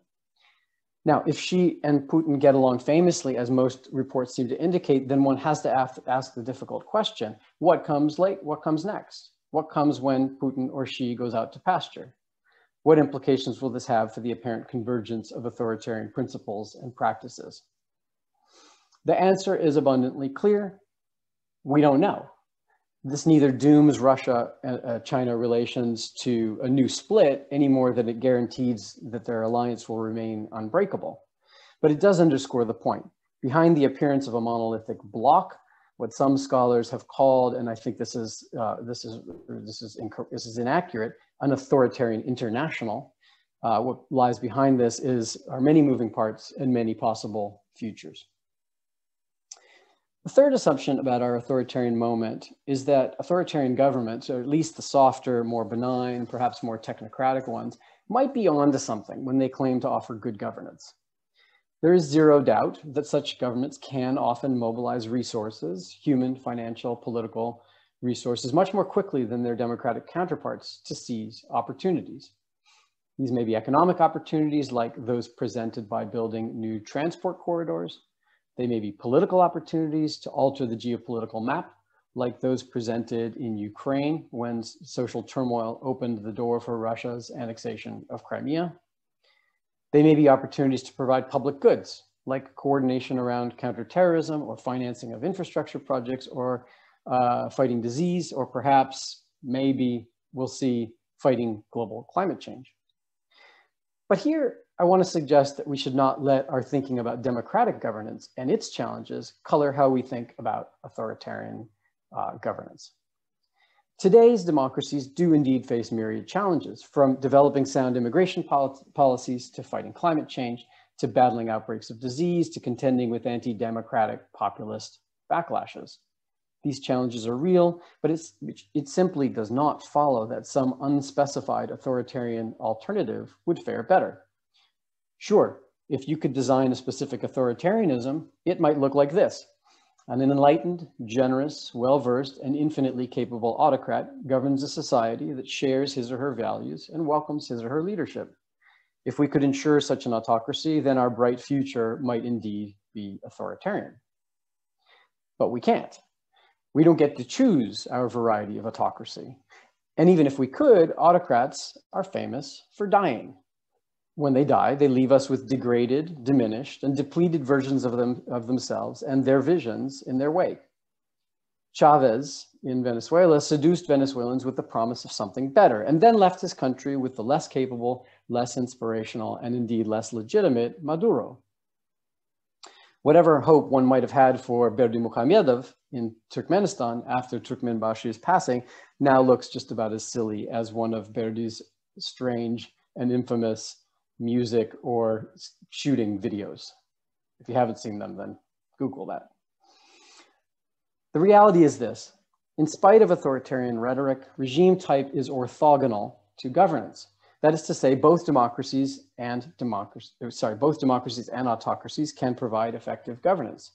And both democracies and autocracies can provide ineffective or even corrupt governance. If you're asking which regime type better addresses social and economic problems over the short or medium term, then you can expect a hung jury.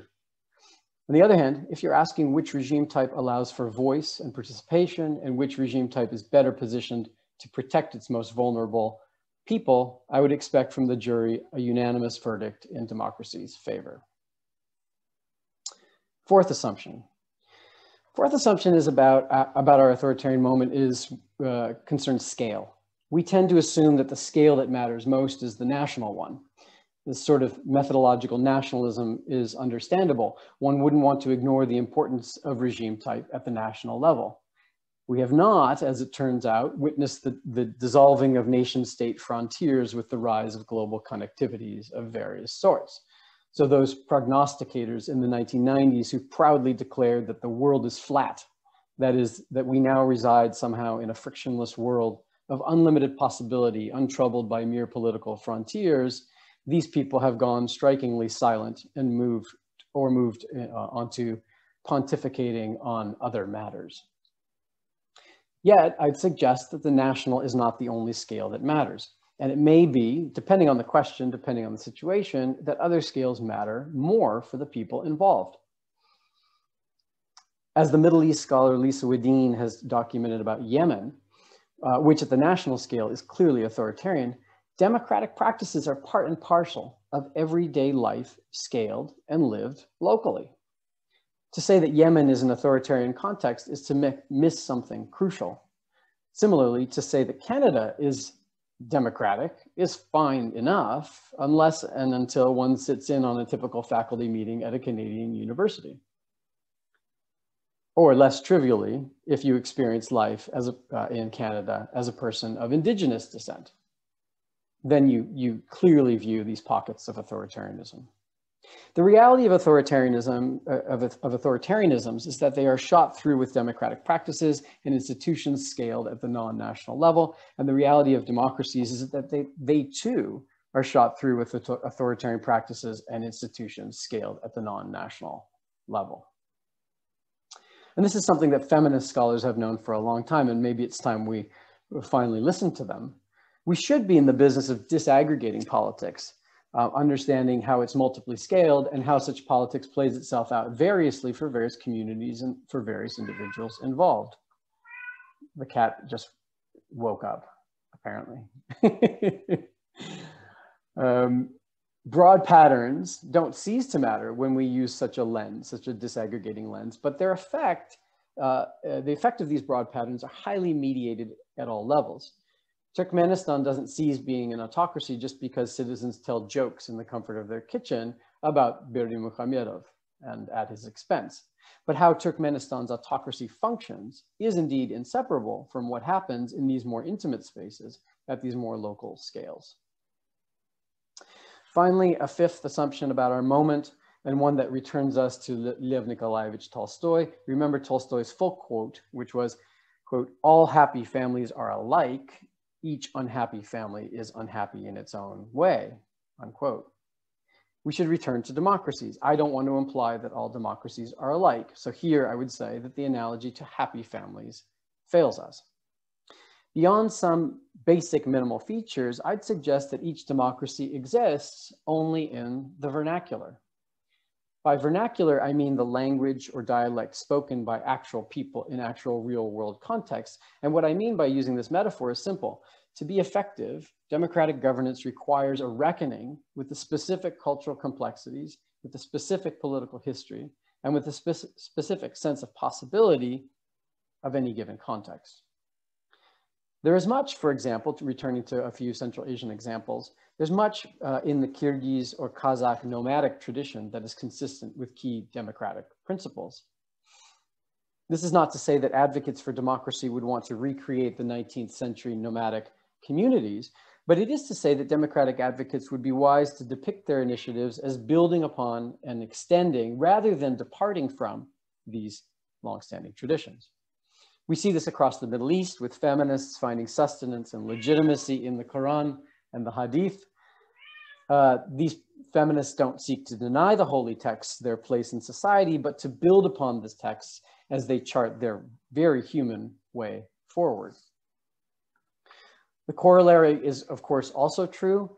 Those, let's say, in Russian society who would posit the ostensible incompatibility of democratic values and practices with the broad sweep of Russian political history have probably not seriously reckoned with Russia's checkered past Consider the democratic promise of, of sayings like, um, uh, in Russian, "Da Boga vysoko, da царя далеко." So uh, God is uh, God is is is up high, and the czar is far away, right? Lightly governed for most of its political history, Russian society enjoyed myriad freedoms by default, even if not by principle.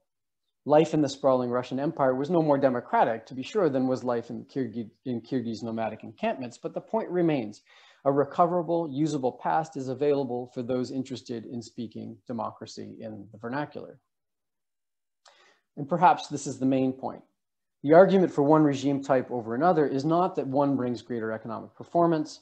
Regime type may or may not grow your economy. It may or may not generate greater equity. It may or may not improve lives. It's also not an argument that one regime type brings greater political benefit by endearing a state to some great power involved in a kind of geopolitical competition. Today's darling may become tomorrow's estranged ex. Here I'm reminded about, about how sour US-Canada uh, relations became during the Trump administration. There are no guarantees, even among historic friends, that share incredible cultural similarities. Rather, I'd suggest that choosing democracy is about selecting political practices and institutions that are fairer and more humane, full stop. If fairness, humanity, generosity, or freedom play any role in a state's recoverable, usable past, it too can speak democracy in the vernacular. All of this returns to the question for the workshop, which is, is the BRI a curse or a blessing for democracy? I would argue, uh, and borrowing here from Alexander Wendt, uh, an international relations scholar, um, uh, in another context, that the BRI is what states make of it. To my mind, the BRI is only loosely related to regime type, and we got some of this, I think, in the in the last uh, in the last session. Uh, and I think some smart interventions uh, there are worth taking into account. Sure, uh, the BRI is a well-funded development scheme promoted and underwritten by the world's largest and arguably most powerful authoritarian regime, but the relationship is contingent. That is to say, it can cut any which way. In the short term, the BRI can provide a lifeline to authoritarian governments, especially those that are cash-strapped during difficult times. BRI has the potential to shore up their legitimacy claims. There's nothing quite like a palpable, visible infrastructure project shouted from the rooftops of authoritarian palaces to suggest that the regime is working for the people. On the other hand, if regimes are seduced by concessional loans, but unconcerned about the quality or practical utility of the infrastructure being built, then they open themselves up to, to accusations of corruption. If regimes are unconcerned about creating jobs and distributing any new wealth generated by uh, involvement with the BRI, then they open themselves up to populist backlash. If regimes find themselves doing the bidding of foreign governments in their treatment of minority populations, This builds pressure for counter-mobilization over the longer term and raises the cost of repression domestically in the short term. Now, whether any of this uh, takes a democratic turn is harder is hard to predict, but the BRI, by rapidly shifting the configuration of forces in tremendously unpredictable ways, certainly opens up new horizons of the politically possible. The BRI has enormously transformative potential, but if there's one thing we know from studying prior historical examples of similarly enormous transformations, it's this. The architects of change don't get to determine the final outcome. Thank you.